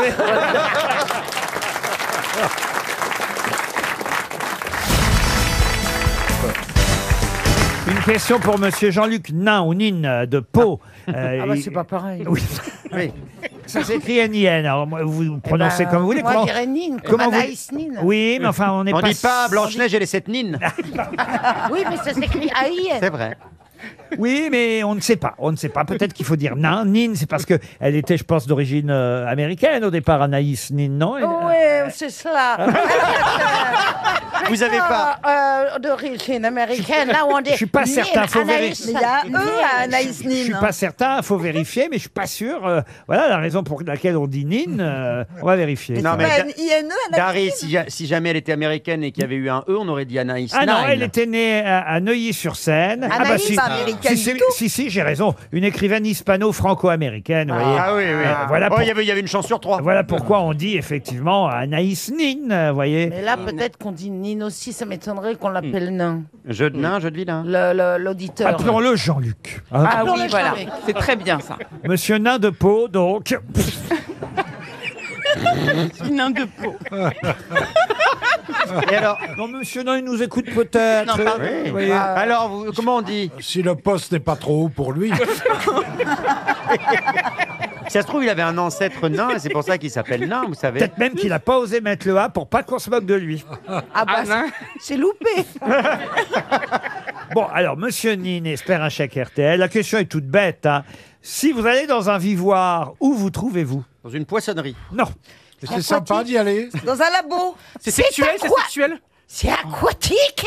Ce n'est pas aquatique. Ah bah voilà. Est-ce que c'est c'est drôle C'est dans une boutique. C'est pas Vous êtes spécialement déjà allé drôle. dans un vivoire Ah oui, plein de fois. Ah, et est-ce que vous pensez que nous, on est allés dans un vivoire C'est un rapport médical on est tous allés dans un vivoire. Est-ce que c'est dans une église Ma question est toute bête et toute simple. Sur les Oui, toilettes. les toilettes Si vous allez dans un vivoire, où on fait, vous, on- on fait caca. où vous trouvez-vous Non, non, non. Mais euh, en France, c'est en France, c'est obligatoirement en France. À la maternité. Alors non, si vous allez dans un vivoire, vous n'êtes pas en France. Donc c'est Vous êtes au frontière. Vous La- avez passé la frontière. elle a passé la frontière. la cahute d'une frontière, la cahute. J'ai Au entendu Canada. Où au Canada Au Québec. Au Québec, c'est pas pareil. Ah, bah alors, moi, je suis jamais allé au Ah, Québec. c'est Voilà, on une- est au Québec si on C'est vous une dit ça. baraque à miel. là. Mais qu'est-ce que c'est qu'un vivoire C'est pas une maternité. Vous n'êtes pas allé au Québec, mais vous êtes déjà allé. Ah oui, en France, je suis allé dans un vivoire, mais ça s'appelle pas comme ça. Si j'ai bien compris, Non, Laurent t'as mal Ruquier, compris. tais-toi. Si j'ai bien compris, Laurent Ruquier, Il a pas répondu. vivoire, c'est un mot québécois. Voilà. Et on, en- on a l'équivalent en Chez nous. France Qui n'a rien à voir avec le mot vivoire. Voilà. Si, sauf que nous, les Français, vous le savez, on est effectivement plus anglo-saxons que les Québécois. Ah, yes. Un life, euh, quelque chose. qui eux refusent les mots qu'on utilise et sont plus français que Les nous. WC, les WC, les. Ah oui, parce que vous parce que vivez tu dans les vis dans chiottes, les- vous. Est-ce qu'on y reste C'est pas un vidoir, c'est un vivoire. Est-ce qu'on y reste longtemps en général Est-ce que c'est lié à l'endroit où l'on habite? Oui, bien sûr. Euh, salon, Par exemple, c'est dans la le chambre. salon. C'est la- C'est le lobby. c'est le living room, le living room. Le living room, bonne réponse, évidemment. Eh oui, la pièce à vivre, comme on dit. Eh on oui. dit la pièce à vivre. Eux, Eh ils ne ben, veulent pas dit dire. le salon. Oui, mais le living room, c'est pas le salon. Euh, Ah le- bah un peu Bah, quand c'est même. quoi la différence Ah bah, euh, Bah, le bah, living room, c'est le salon. euh, le- le Il peut y living avoir une room, salle à c'est- manger dans le C'est living pour room. les snobs et Le- le salon, c'est pour. euh, le ah non. living room, c'est la salle à vivre. euh, C'est là où on vit le plus. Et le salon, c'est quoi C'est mon. Non, bah, franchement. Ah bah aussi, oui. Ah bah, c'est un, endroit- pourrait, c'est ça un endroit pourrait. où il fait bon vivre, à mon avis. C'est quoi le salon Bah, le salon, C'est la, c'est- c'est non. cuisine c'est, c'est- Non, c'est le living room. Le salon, c'est quand il y a une salle à manger. Il y a une salle à manger et un salon. Salon. Le living room, c'est la salle à manger et le salon en même temps. Voilà, c'est une Voilà. seule pièce. Et il y a l'entrée C'est parfois. quand tu aussi. dors sur la table. Alors, voilà. Et donc, si votre est un living room, je trouve que le couloir est un peu grand. Un viveware. Si on vous propose d'aller dans un viveware, c'est que vous êtes au Québec. Viens donc visiter mon viveware. Et ça veut dire passer au living room. C'est une quand même mauvaise une idée. bonne réponse de Monsieur Christophe Beaugrand. Tellement contente de cette réponse. Pour Ah, Michel ah. Cropp, qui habite Mirbeau-sur-Bèze, c'est en Côte Sur Bèze d'Or. Oui. Il y a une rivière qui s'appelle la Baise. Si vous Bah voulez oui. voir des déodaciens et des déodaciennes, où faut-il aller C'est des fans de Jodassin? Non, des déodaciens et des déodaciennes. C'est donc une ville. C'est le gentilé d'une ville. Oui, bravo Isabelle. Très bien. Donc c'est eh, Déo, il y a Dieu dedans. Déodatien et déodacienne. Est-ce qu'il y a Dieu dans le, le nom de Non, cette il y a ville, pas non Dieu. Ça n'a rien à voir, on peut pas trouver avec. Faut le savoir. Ah non, on peut deviner quand Ah, je même. sais, il y a déo- déodorant. Oui, merci madame. Au revoir. C'est une ville C'est française. les gens qui vivent avec. Ah, C'est chez Ixelles. c'est la ville de Narta. C'est une ville française, oui Est-ce monsieur. que c'est une ville importante? C'est une préfecture? C'est un chef-lieu, vous voyez. Est-ce que ça commence par la lettre D cette ville ou pas Non, ça ah, commence pas voilà, par la vous voyez lettre. le piège. Ah, ah. Ah. Est-ce que c'est plutôt dans l'est de la France? Oui, c'est dans l'Est. C'est une, une ville d'eau? Alors une ville d'eau... euh, Un une- peu, une- un peu. Pas, non, pas, Oh, pas, oh, pas Quelle vraiment. Est, quelle le est la spécialité de la ville? Ah, Ah ça oui. c'est ah, c'est une bonne question. Ah, ça. voilà. Tiens, Est-ce qu'il y a alors, des choses qui se mangent là-bas? Qu'est-ce qu'il y a Attends, comme attends, on va euh, voir. spécialité Le euh, master. Il y a un gymnase. Ah ouais. Ah bah ça sent pareil. Est-ce qu'il y a un personnage connu dans cette ville? Non, Une il y a- il y a- il y a- c'est quand même une très jolie ville. Il y a des- Colmar. il y a des murailles, il y a des tours. Alors il faudrait essayer Ah, peut-être de c'est- trouver la une, zone. Une collégiale. Est-ce que c'est dans le Belfort, centre de la Belfort. Est-ce que c'est dans le centre de la France? Alors non, ce n'est c'est pas dans- dans le non, dans l'Est. centre. Ah, mais c'est sûr, dans c'est dans l'Est. Ce serait pardon. pas Besançon. Non, ce n'est pas Dans Besançon. l'Est. Euh, Est-ce que c'est proche de la frontière allemande? Ah euh, oui, on se rapproche en tout cas, oui, ça Ah. c'est vrai. Rien à voir avec Vesoul C'est pas bah, Vesoul, non. Quel est l'enfant du pays pas la peine de. Ah, vous voulez des enfants du pays oui, connu. Ah, j'ai la liste. Est-ce qu'il y a Euh, Patricia Cass Il y a Gabriel Baron, Lucien Ah, des Georges grandes- Beaumont, des grandes Léonie de stars. Baseler, Des grosses stars. Maxime Benoît Janin, Jacques Brenner, Ferdinand Bruno, Jean-Marie Cavada. Ah, tiens. Ah. On Jul- l'appelle Julien Chabert, Emmanuel Clément Demange, Christian Didier, Pierre Didier, Alex Dirocco, Sylvain Dufour. Donc c'est la Moselle alors la J'en Moselle suis qu'à la lettre D. Bon, hein. bah, ça suffit. Gustave. Guettan, euh, Yvan Goll, Henri Karcher. Non mais on les connaît pas, on s'en fout. Khalidou Koulibaly. euh, Ah, ah, lui il est. Ah oui, je sais Saint-Dié Saint-Dié et les Vosges Ah, Saint- Koulibaly, extraordinaire joueur passé par le Napoli notamment. Eh Voilà. oui. Oui, Eh bien, c'est Saint-Dié-les-Vosges. Bonne réponse de Johan Rioux grâce au football. Et peut-être vous auriez trouvé avec Ah, le oui. nom euh, suivant. Après, j'avais aussi Julien Lepers, euh, qui est euh, de Ah oui, Saint-Dié. oui, oui. Ah oui. Je suis né dans une ville. Oui, oui, oui, je suis, je suis. Des Audaciens. Ah oui. Quatre à la suite. De quel massif montagneux le mont Méron est-il le point culminant? La Tarentaise? La Tarentaise, non. La Maurienne? Non plus. C'est dans les Alpes donc hein? Du tout. C'est pas en France. Ah, c'est en Pyrénées, c'est la Mongie? Ce n'est pas en France. Ah, alors là. le Mont Ah, Méron. Méron, c'est en Méron. Suisse Le, C'est le en Mont Méron Suisse Le Mont Méron Le mont Méron, le mont Méron, on dit. Ouais, Ah c'est- bon, C'est en Suisse, c'est en alors Europe La cordillère des Andes. Ce n'est pas en Europe. Ah. Très haut. Euh, Oh, non, c'est 1200 mètres, le mont Méron. Oh, c'est bas. Est-ce que c'est en Asie? En Asie, non. Et que cherche-t-on? On cherche le pays. euh, On cherche un massif montagneux. Est-ce que c'est à côté du mont Sinaï? Oui, C'est en Israël oui, Le. Ah, le mont Sinaï. non. Le monte là-dessus et tu verras Rothschild Oh non, écoutez, franchement, L'Atlas l'Atlas, non. C'est au Maroc, ça, monsieur. Mais oui, mais bon, on cherche. hein. Ah, le mont des, des Oliviers. Ah non, non, non. non, Je vous donne le... le chemin des on a le nom du mont. On a le nom du mont. Je vous demande le nom du massif montagneux dont le mont Méron Ah, est le mon point Dieu. culminant. Les, les... Mais c'est en Israël alors, on est d'accord Ah, mais C'est oui, en ça se- Palestine. Ah, euh, En Israël, en Palestine, où vous voulez. Non, on va, on va pas se fâcher. hein. L'Elbrouz Non. Pardon L'Elbrouz Non. Ah bah non, c'est une montagne ça aussi, j'ai dit. Il est très connu ce nom? Ah oui, très. Ah bon? Ça a rapport avec la Bible, tout ça? Ah bah oui, entre autres. Alors, est-ce que Jérusalem serait sur un mont Pardon On dirait Donald Trump. Jérusalem, c'est une ville, vous voyez. Là, je vous demande tout simplement le nom du Massif. massif, Du massif, du montagneux. C'est Écoutez, j'ai dit Masada, personne ne le connaissait, Non. c'est pas mal. Sinaï, personne ne le Oh connaissait, c'est pas mal. Non, on ne connaît pas Sinaï. non. On- eh, Tu sais pourquoi On est trop J'y suis allé- j'y suis allé, moi, Bah, sur Bien le- sûr, le- on peut Ouais, pas nous aussi, connaître on peut dire des trucs J'y suis allé de- sur le Mont Sinaï. On est à l'ouest du Jourdain, évidemment. Ouais, hein, le. Jourdain, on connaît pas non plus. non. Et, et- et ce massif montagneux Et s'appelle. des rois mages, des rois mages sont passés sur ce. ma- sur- Alors justement, Ah ouais. c'est ça qui est drôle, c'est que ils n'y sont pas passés et on pourrait croire qu'ils y sont passés. Ah Ah, le massif des Le- rois mages. le Balthazar. Mais non. Le Gaspard, le Mais non. Melchior. La crèche. Mais non. Mais quoi Ça, il porte le nom d'un des, d'un- d'un- d'un des rois mages. Mais pas du tout. Mais pas du tout alors. Ah, non. Galilée. Sheila le... Qu'est-ce que vous avez dit, monsieur Sheila, Bénichou le mont La Sheila. Galilée. La Galilée. Eh oui. Bonne réponse de Pierre Bénichou. Ah, la Galilée. Eh oui, c'est la Galilée, le nom du massif montagneux. Il y a un massif de Galilée, Ah alors. ben c'est le nom du massif. Non, C'est une massif, région, oui. mais c'est aussi un massif montagneux. Donc, euh, pardon, mais elle dit n'importe quoi, Sheila alors. Alors Si. oui, dans la chanson, elle nous dit que les rois mages en, En Galilée. Galilée, Et ils sont pas passés. ils sont pas passés. Mais là, C'est ils sont n'importe pas- quoi. C'est une erreur euh, dans la chanson. Elle s'est trompée. Les rois mages en Galilée. Qu'est-ce que vous dites? Elle s'est trompée. S'est que Mais non, pas s'attroper. Ah, ah, ah. Les rois mages à Saint-Tropez. Non, elle, Elle est- s'est trompée. Que je Ah, elle s'est trompée. S'est Ah ouais, Je encore. deviens sourd. Non, non, c'est normal, on comprend rien. Elle est vraiment nulle en géographie. Hein. Sheila, bah oui. Il manquerait plus qu'elle laisse les gondoles à Venise. Non, écoutez, vous auriez pu répondre plus rapidement tout de même la Galilée. Oui, d'accord, mais on ne peut pas me faire engueuler pour une fois que je trouve une réponse. C'est vrai, mais vous l'avez trouvé par hasard grâce à Sheila quand même. Grâce à Oui. Grâce à Sheila, oui. J'ai fait beaucoup de choses dans ma vie grâce à Sheila. Ah oui Ouais, ouais. J'ai décidé que l'école était finie. J'avais 4 ans.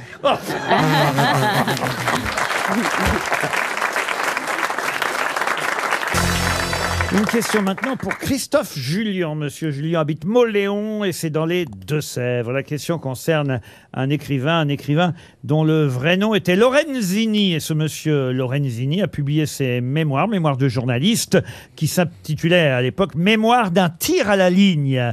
Mais on le connaît, ce monsieur Lorenzini, pour une autre œuvre. Laquelle? Ah, ah. Oh là là. Bon, on est d'accord que c'est un Italien. Oui, c'est un Italien. Ah oui, oh bah c'était difficile. C'est un journaliste. Oui, oui, donc. oui. Alors, il était journaliste et écrivain. Ah, Donc, d'accord. euh, il avait un prénom, ce Lorenzini? Oui, mais je voulais pas vous donner son prénom. Ça nous parce que mettrait trop sur la voie. Ça vous aurait peut-être euh, aidé parce qu'évidemment, il écrivait sous un autre nom que Lorenzini. Ah, moi, tu peux me le donner, ça risque rien.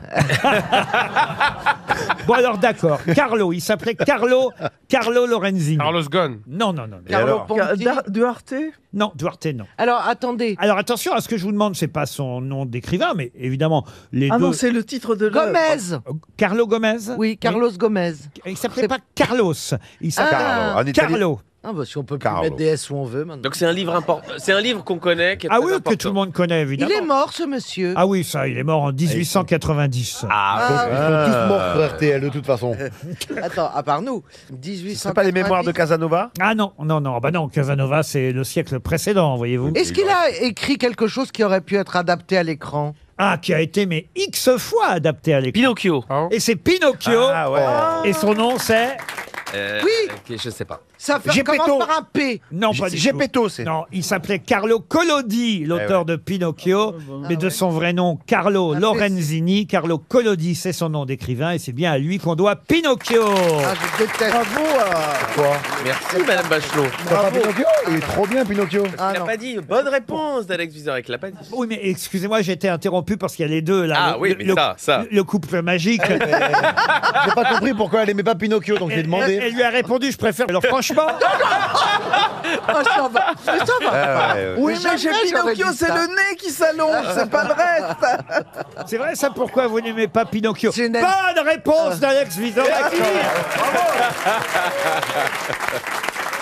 Mais, mais, vous êtes- mais c'est vrai qu'Alex, j'ai été perturbé par leur petite conversation. euh, Oui, je n'aime pas Pinocchio, j'ai le droit ou pas? Je n'aime pas du tout ce dessin animé. euh, euh, je n'aime pas l'histoire de cet enfant créé en bois, cette Alors que marionnette. Adil Rami nous l'a déjà dit euh, la dernière fois ici, sachez-le, chère Caroline, Adil est fan. Pourquoi vous me regardez comme ça, Adil? Je sais plus ce que j'ai dit. Vous m'avez confié, aimez beaucoup Ah tout- oui, oui, oui. tous les Disney. Ouais, J'aime Ah, trop les mais Disney. ça, c'est c'est mon- pas pareil. Moi, j'adore les Disney, mais pas tous. Est-ce que vous savez que je, je- tous les soirs depuis plus de 20 ans, je dors avec un Disney? Sinon, je dors pas. Ah oui? Ah ouais, ouais. Ah, C'est Tous les mignon soirs. ça alors. Tous Un les soirs. Disney, une pipe. Non, non, mais il est vrai que, il est vrai que depuis que j'ai découvert la 20 ans. branlette, je fais ça depuis toute ma vie. Mais du ah coup, ouais, ah ouais. ouais. Mais Tu- con- Et je suis pas le seul. Non, balance mais, tous même les hommes quand, mais, mais même tu es avec ta compagne, tu mets un petit Disney Euh, Tout le temps, tout le temps, tout le temps, je suis obligé. Mais tu le mets où? Devant moi avec mon téléphone comme ça, tu vois, je pose Ah mon bras, je pose mon C'est coussin, mignon en même temps. Et boum. Ouais. Oh, c'est mignon. Ah ouais. C'est vrai. Ouais. Et votre Disney à vous, Caroline, alors?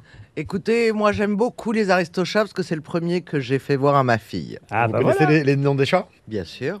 Allez. La maman s'appelle Duchesse, il y a Hector, il y a Berlioz et il y a Princesse. N'importe quoi. C'est vrai que c'est beau les Disney. Ça commence à marcher entre eux. Pourquoi c'est pas cela Bah pas du tout. C'est quoi les noms des chats? Il y a Marie, il y a Toulouse.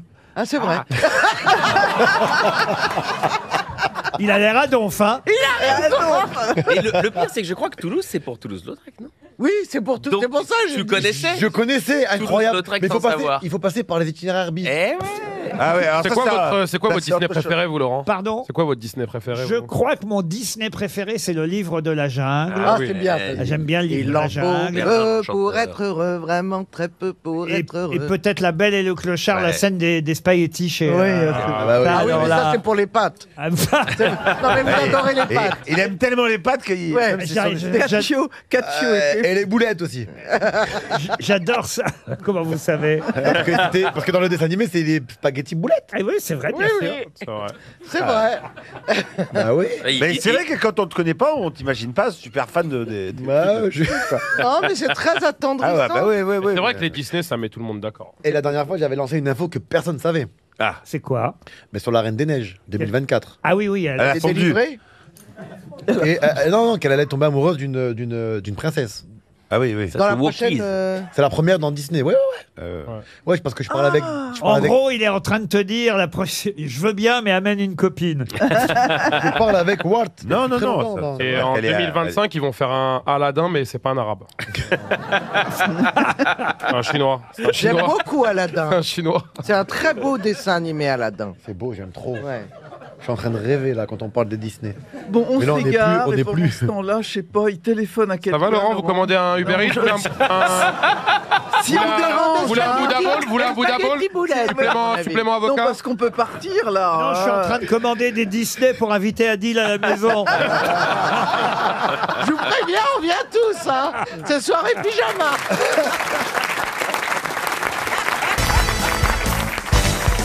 Alors, il est bien ton nouveau spectacle Oui, c'est un rodage, je suis très content de la tournure Et que ça c'est prend. c'est quoi le thème Parce que t'as- t'as- on Ah, parle le plus thème, c'est d'avion, comment là. se débarrasser des plus vite.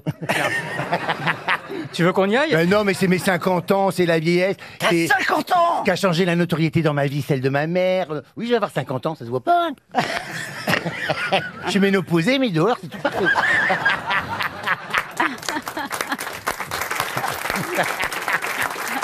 Une première citation, hein, on va patienter un peu pour aller voir le spectacle. On va attendre que vous veniez à Paris avec votre chat, vous voyez. Première citation pour M. Chéritel, qui habite Carros, dans les Alpes-Maritimes, qui a dit « Pour Caroline de Monaco et pour un ouvrier du Mississippi, élevé dans le coton ne veut pas dire la même chose.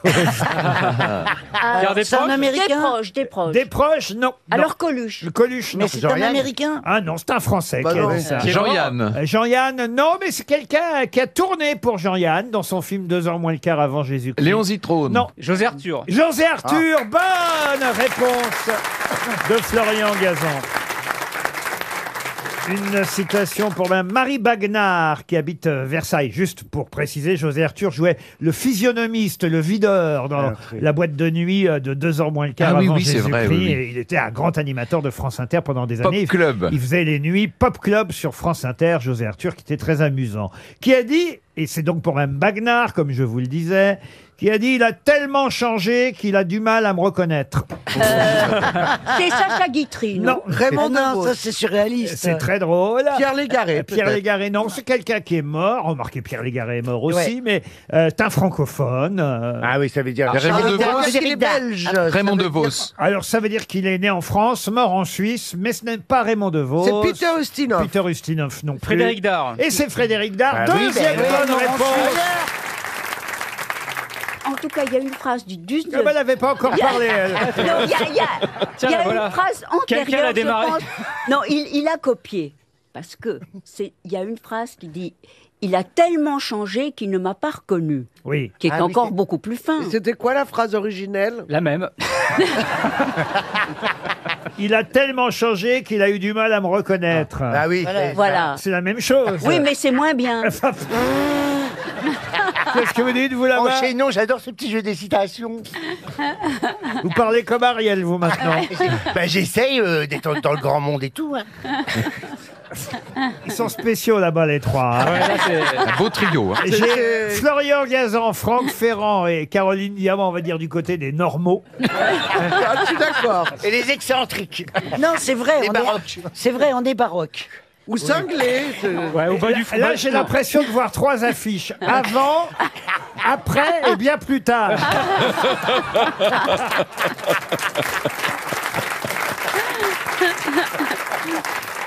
Pour Roselyne Beaumont, qui habite Crotté, c'est dans l'Ain, qui a dit CNN avait annoncé qu'après la guerre, l'Amérique avait prévu de diviser l'Irak en trois parties. Normal, sans plomb et diesel.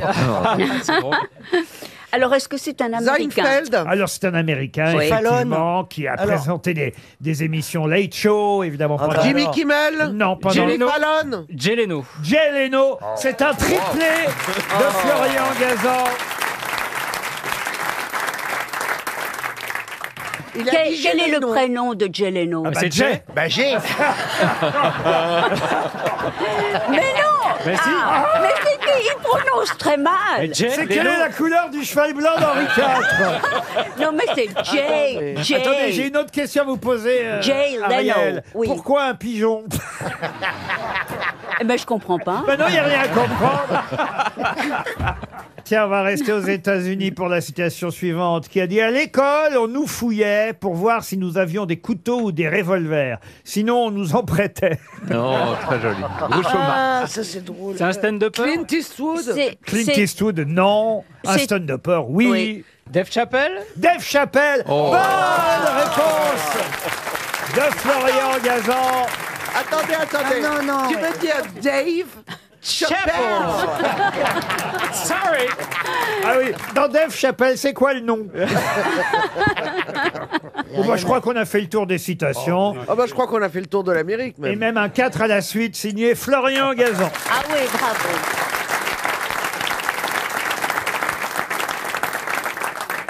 Ah, Il y a quand même une sacrée ambiance quand je suis là.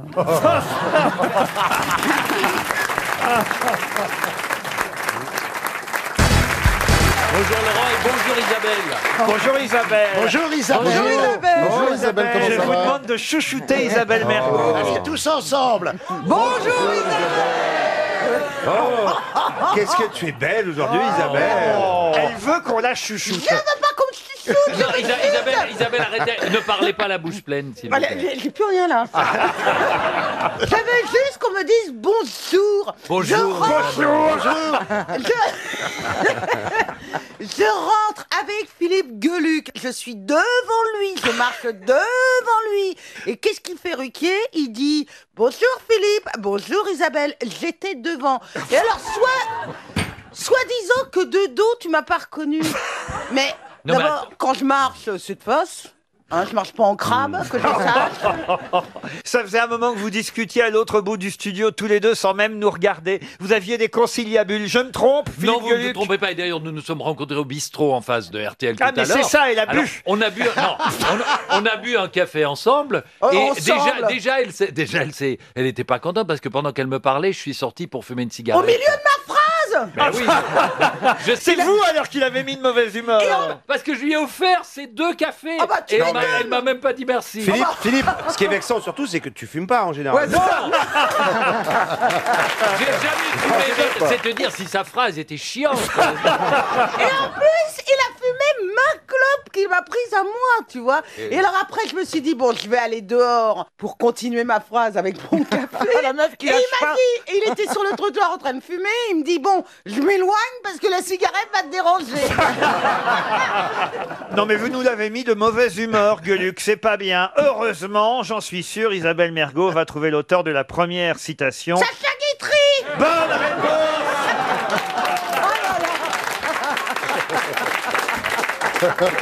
Alors maintenant, je peux donner la phrase. En plus, ça tombait bien comme phrase. C'était si les hommes aiment les femmes silencieuses, c'est parce qu'ils sont persuadés qu'elles les écoutent. Euh, ça collait pile poil avec la conversation d'avant. Et quel est l'auditeur qui a perdu 300 euros Daniel Barbet de Pont-de-Metz. Merci Isabelle. Une citation plus difficile alors pour Monsieur Durantin Laurent qui habite Rive de Guière ou de Gier, je sais pas. Rive de Gier. Rive de Gier, vous connaissez, c'est dans la Loire. Qui a dit un cocktail, ce sont des gens qui viennent écraser leurs cigarettes sur votre moquette à 6 heures du soir et qui à 8 heures du soir vont dîner sans vous avec d'autres invités dans un endroit plus rigolo. Pas mal. Frédéric Becbédé. Frédéric Becbédé, non. Est-ce que c'est français? C'est français. Vivant, contemporain? Contemporain, mais plus vivant. Boris Vian. Boris Vian, non. Ça aurait pu. C'est Ah, ah. c'est pas mal trouvé. j'ai- j'ai- oui, mais j'ai- c'est pas lui. On va te féliciter à chaque fois que tu brûles, quoi, en fait. Pierre Desproges? Pierre Desproges, non. Sacha Guitry Non. Est-ce que c'est un Coluche romancier? Ce n'est pas un romancier. Est-ce qu'il est mort récemment ou C'est un essayiste? Il est mort dans les années 90 et ce n'était pas un rugbyman. Mais c'est plutôt un humoriste. Il était drôle, mais c'était pas un humoriste. Est-ce que c'est quelqu'un qui travaille à la radio Ah, il a fait les grosses têtes. Ah. Dans les années 80, il a fait les Sim, grosses têtes. Jean-Yann.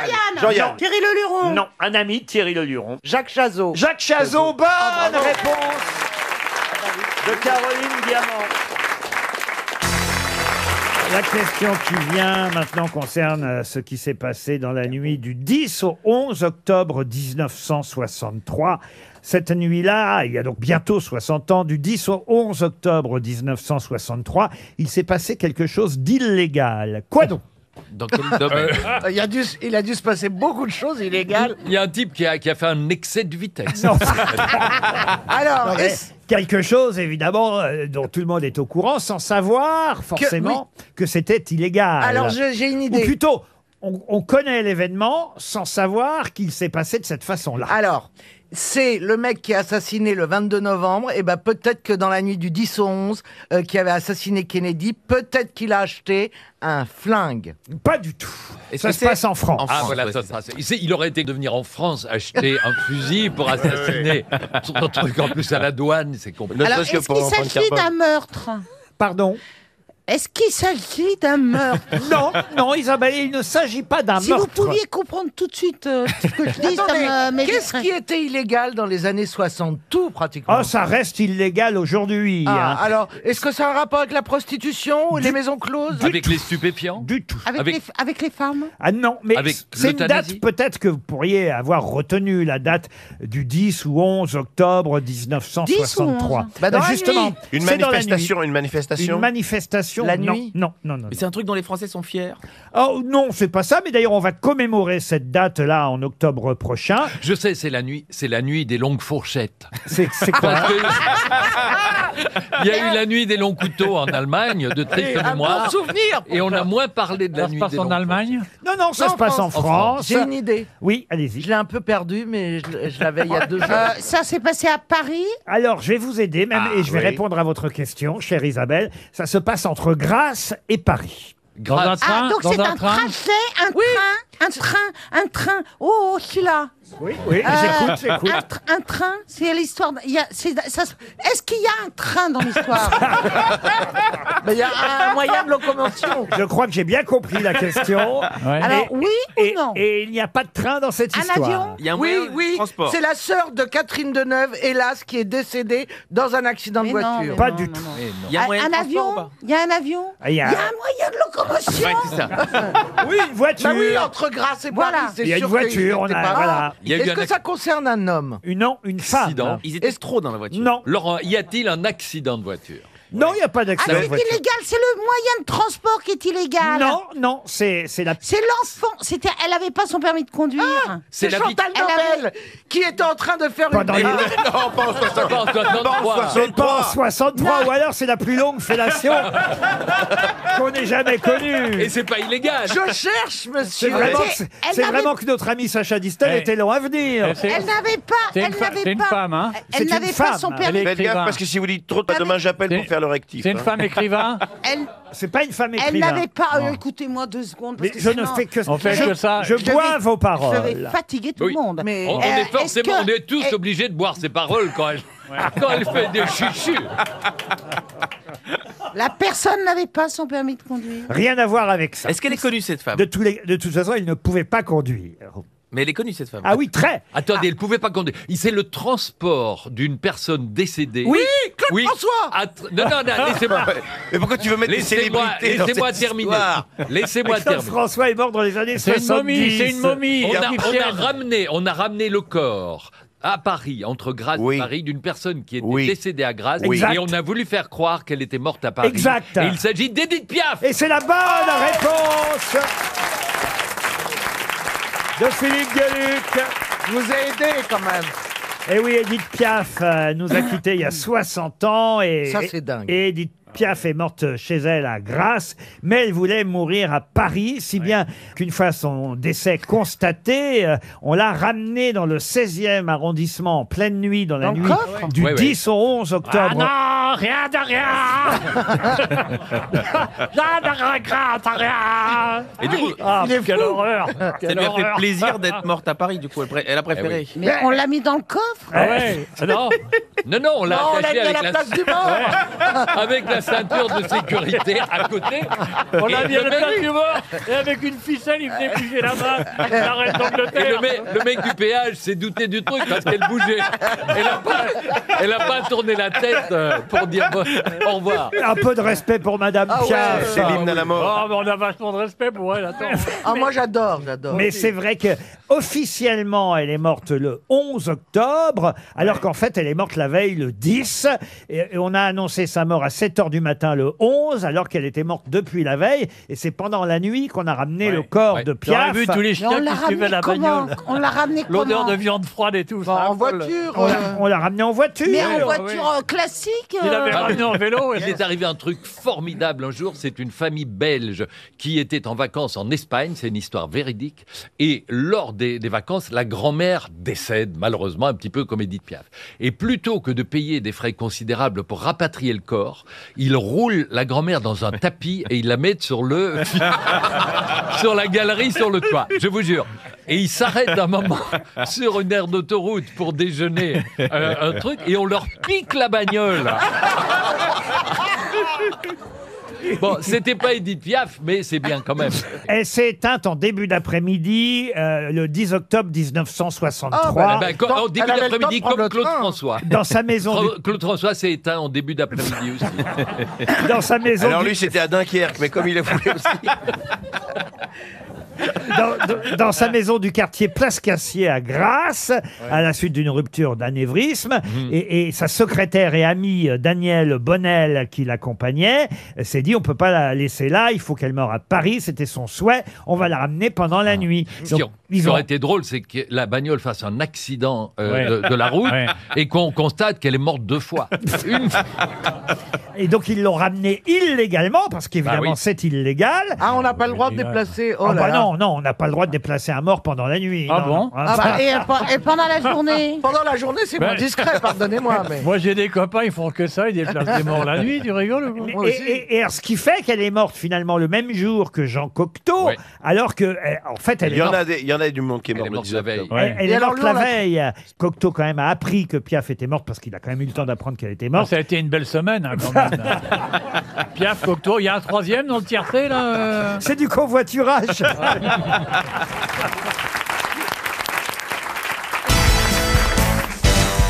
Au bar d'une discothèque, un Belge remarque deux superbes nanas. Alors il s'approche du barman. Dis, mais dis donc, tu connais les deux filles assises là-bas? Là, le barman lui dit euh, Ah non, mais ça, c'est sûr, c'est pas pour toi, hein, c'est de lesbiennes.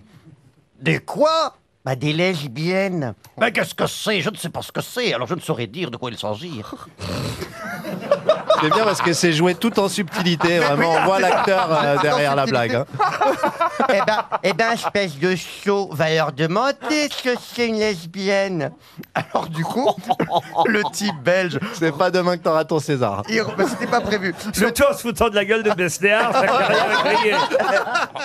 Alors le type rejoint les filles hein, qui sont au bar, de très jolies filles, et il s'incruste à leur table. Eh, bonjour les filles, on m'a dit que vous étiez lesbiennes. Bon alors je ne sais pas ce que ça veut dire, hein, je ne saurais dire, dites-moi de quoi il s'agit. Alors là il y a une des filles qui lui répond, Eh bien, ça veut dire qu'on aime s'embrasser. Elle est longue Non, mais elle est pas obligée de faire la voix de Jeanne Moreau Ma pauvre Jeanne. Alors, frère, elle, elle dure deux ans, elle est pas finie Non, effrayant. Frère, j'ai vieilli depuis le début de cette histoire. Eh bien, ça veut dire qu'on s'aime s'embrasser, se caresser la poitrine. Il est fou se caresser la poitrine l'une l'autre. Et du coup, le Belge se retourne vers le bar et il crie au barman Hé, trois whisky pour nous, les lesbiennes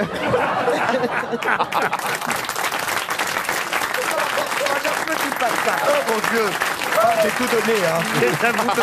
Arrêtez de vous moquer Alors moi, c'est une histoire juive, évidemment, puisque je suis circoncis. Alors, c'est trois mères qui se vantent de la réussite de leur fils. Et la première, elle dit, mon fils, il est tellement riche qu'il pourrait acheter tout Paris. La deuxième, elle dit, bah moi, mon fils, il est tellement riche qu'il pourrait acheter tout Paris et tout New York. Et la troisième, elle dit calmement, mais qui vous dit que mon fils, il a envie de vendre?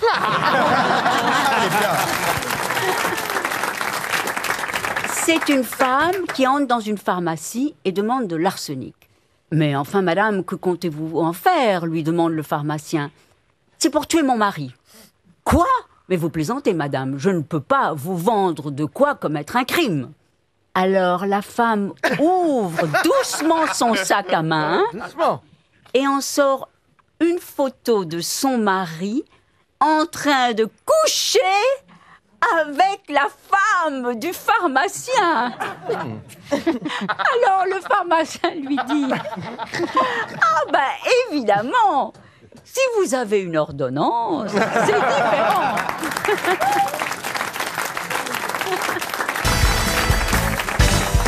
Puisqu'on parle de mathématiciens célèbres, Oh là. je voudrais que vous retrouviez le nom de ce mathématicien connu entre autres, j'ai bien dit entre autres, pour sa thèse intitulée Solution symbolique finie et solution par intégrale définie de l'équation. un Bogdanov D puissance n multiplié par y sur dx puissance n égale xmy. Vous étiez Ah, ça, me semble, ça me semble évident. C'est pas ce gars qui était sur une chaise roulante, Hawkins ou Ah, quelque chose comme c'est ça. pas là, euh, Stephen Hawkins, non. Oui, Alors, pas- Pythagore. Pythagore, non. Vous dites qu'il est connu, mais pas seulement pour ça. Ah oui. J'ai dit entre autres. Il a fait une Ah autre oui. Carrière. Il a fait. Est-ce qu'il a fait de la politique, ce monsieur De la politique, non. C'est un monsieur. De la chanson. C'est un monsieur, bien sûr. De la chanson, non. On parle de quel Non, mais non, ce qu'on cherche, c'est Un Américain C'est en fait un théorème qu'il aurait inventé dont il a donné le nom. Non, non, non, c'est son nom qui est connu. C'est un mathématicien canadien. Il est mort Ah oui, il est mort. Il est mort en 1932. Ah d'accord. Il est D'ailleurs, il n'a pas eu le temps de voir ce pourquoi il est le plus connu. Ah, donc il a, il a participé à créer quelque chose. Comme Einstein, il a, il a, Il a Il a créé, créé la participé puce à la- électronique. Non, Ah. La canadienne fourrée. non, S'il a créé Céline Dion. le tire-fesse. non, Il y a eu des trucs dans l'électricité? Pas du tout. On cherche son invention là? On cherche son nom. C'est son nom Oui, que je vous mais, demande. il a oui, donné mais son qu'on nom. aura par Ah, son il a dû invention. donner son Alors, nom c'est comme vrai qu'il a Edison. donné son nom à quelque chose, oui. À un oui. objet? Un objet. Qui n'a pas Non. vu. Alors, Pas. indirectement, oui, un, euh, un objet, mais indirectement seulement. Est-ce qu'il une a donné- technique. Pas du tout. Est-ce qu'on est tous concernés? Est-ce qu'on a tous utilisé l'invention de Ah, ce pas monsieur du tout, non, non. Ah non. Ah. Il, il a cassé la cabane? Pardon. au Canada. Il a Ma cabane. cabane au Canada. Si vous êtes pas- Tapis si au vous fond dites des bois. Est-ce que Pas c'est du nucléaire On y voit des écureuils sur le seuil. Oh putain. Sinon, je peux vous faire euh, les, des chansons voisines, hein, si on part Ah sur le oui. Canada. Ah, Voisin. Mais alors Seul attendez. sur le sable, les yeux dans l'eau. Arrête, Mon arrête. rêve était trop beau. On est loin du mathématicien, Ouais. là. Attendez. Je vous demande le nom d'un mathématicien. J'irai chercher ton cœur, ce qui l'emporte ailleurs. Le nom d'un Comme si dans tes mathématicien dents, célèbre. L'autre danse Oh, le des jukebox. heures. Vous ignorez qu'il est. chercher ton bras dans les flammes. Il a écrit une Je chanson. te jetterai des sorts. Il n'a pas écrit de Tu chanson. Vous ignorez. Ferai des langages, chanter tes louanges. Je ferai nos bagages pour l'infini vendange, plus brillante et plus belle pour une autre étincelle. Le mieux, c'est de le laisser finir.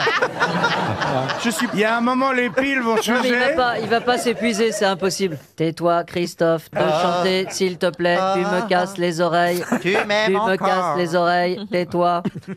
Oh, le Vas-y. Laurent. Elles sont bien ces Alors. grosses têtes automatiques. Oh, petit robot. Mais pourquoi est-ce que vous dites que tout le monde ne l'a pas utilisé? Parce que ça veut dire que c'est uniquement réservé, par exemple, à des gens riches Non, pas des gens riches. Ah, des on l'aurait gens- on l'aurait tous utilisé. Des gens dans les mathématiques Ah, bravo Valérie. Voilà. Ah, voilà. Il a dû inventer. Le compas Le Oh, bah, compas, en non. 1932. non. Ah, c'est le père de Villani. Non, mais il y a un lien avec Cédric Villani, ça c'est vrai. C'est Fields. Ah.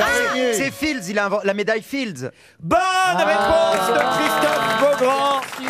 Forcément, c'est logique. Et c'est quoi C'est quoi? Euh, c'est- Il a donné son nom au prix qu'a eu Villani. C'est euh, le, le plus grand prix qui récompense les C'est mathématiciens, ça. s'appelle la médaille Fields. C'est comme un prix Nobel en quelque sorte. La médaille Fields, il s'appelait John Charles Fields, et c'est le, le Nobel des mathématiques en quelque sorte. hein. ça, Euh, Il n'y a pas de. Nobel des Il a bien mathématiques. inventé Non, quelque c'est la chose, médaille ce gars-là. Donc on remet tous les quatre ans la médaille Fields au meilleur mathématicien qui d'ailleurs doit avoir moins de 40 ans. C'était le cas à l'époque de Cédric Villani quand il a reçu la médaille Fields. Et la médaille Fields porte le nom de John Charles Fields qui en a eu l'idée. Mais hélas, elle a commencé à être remise en 1936. Après sa mort, d'accord. Après sa mort, lui c'est en 1932 qu'il nous a quittés. John Charles Fields. Excellente réponse de Bravo. Christophe Beaugrand.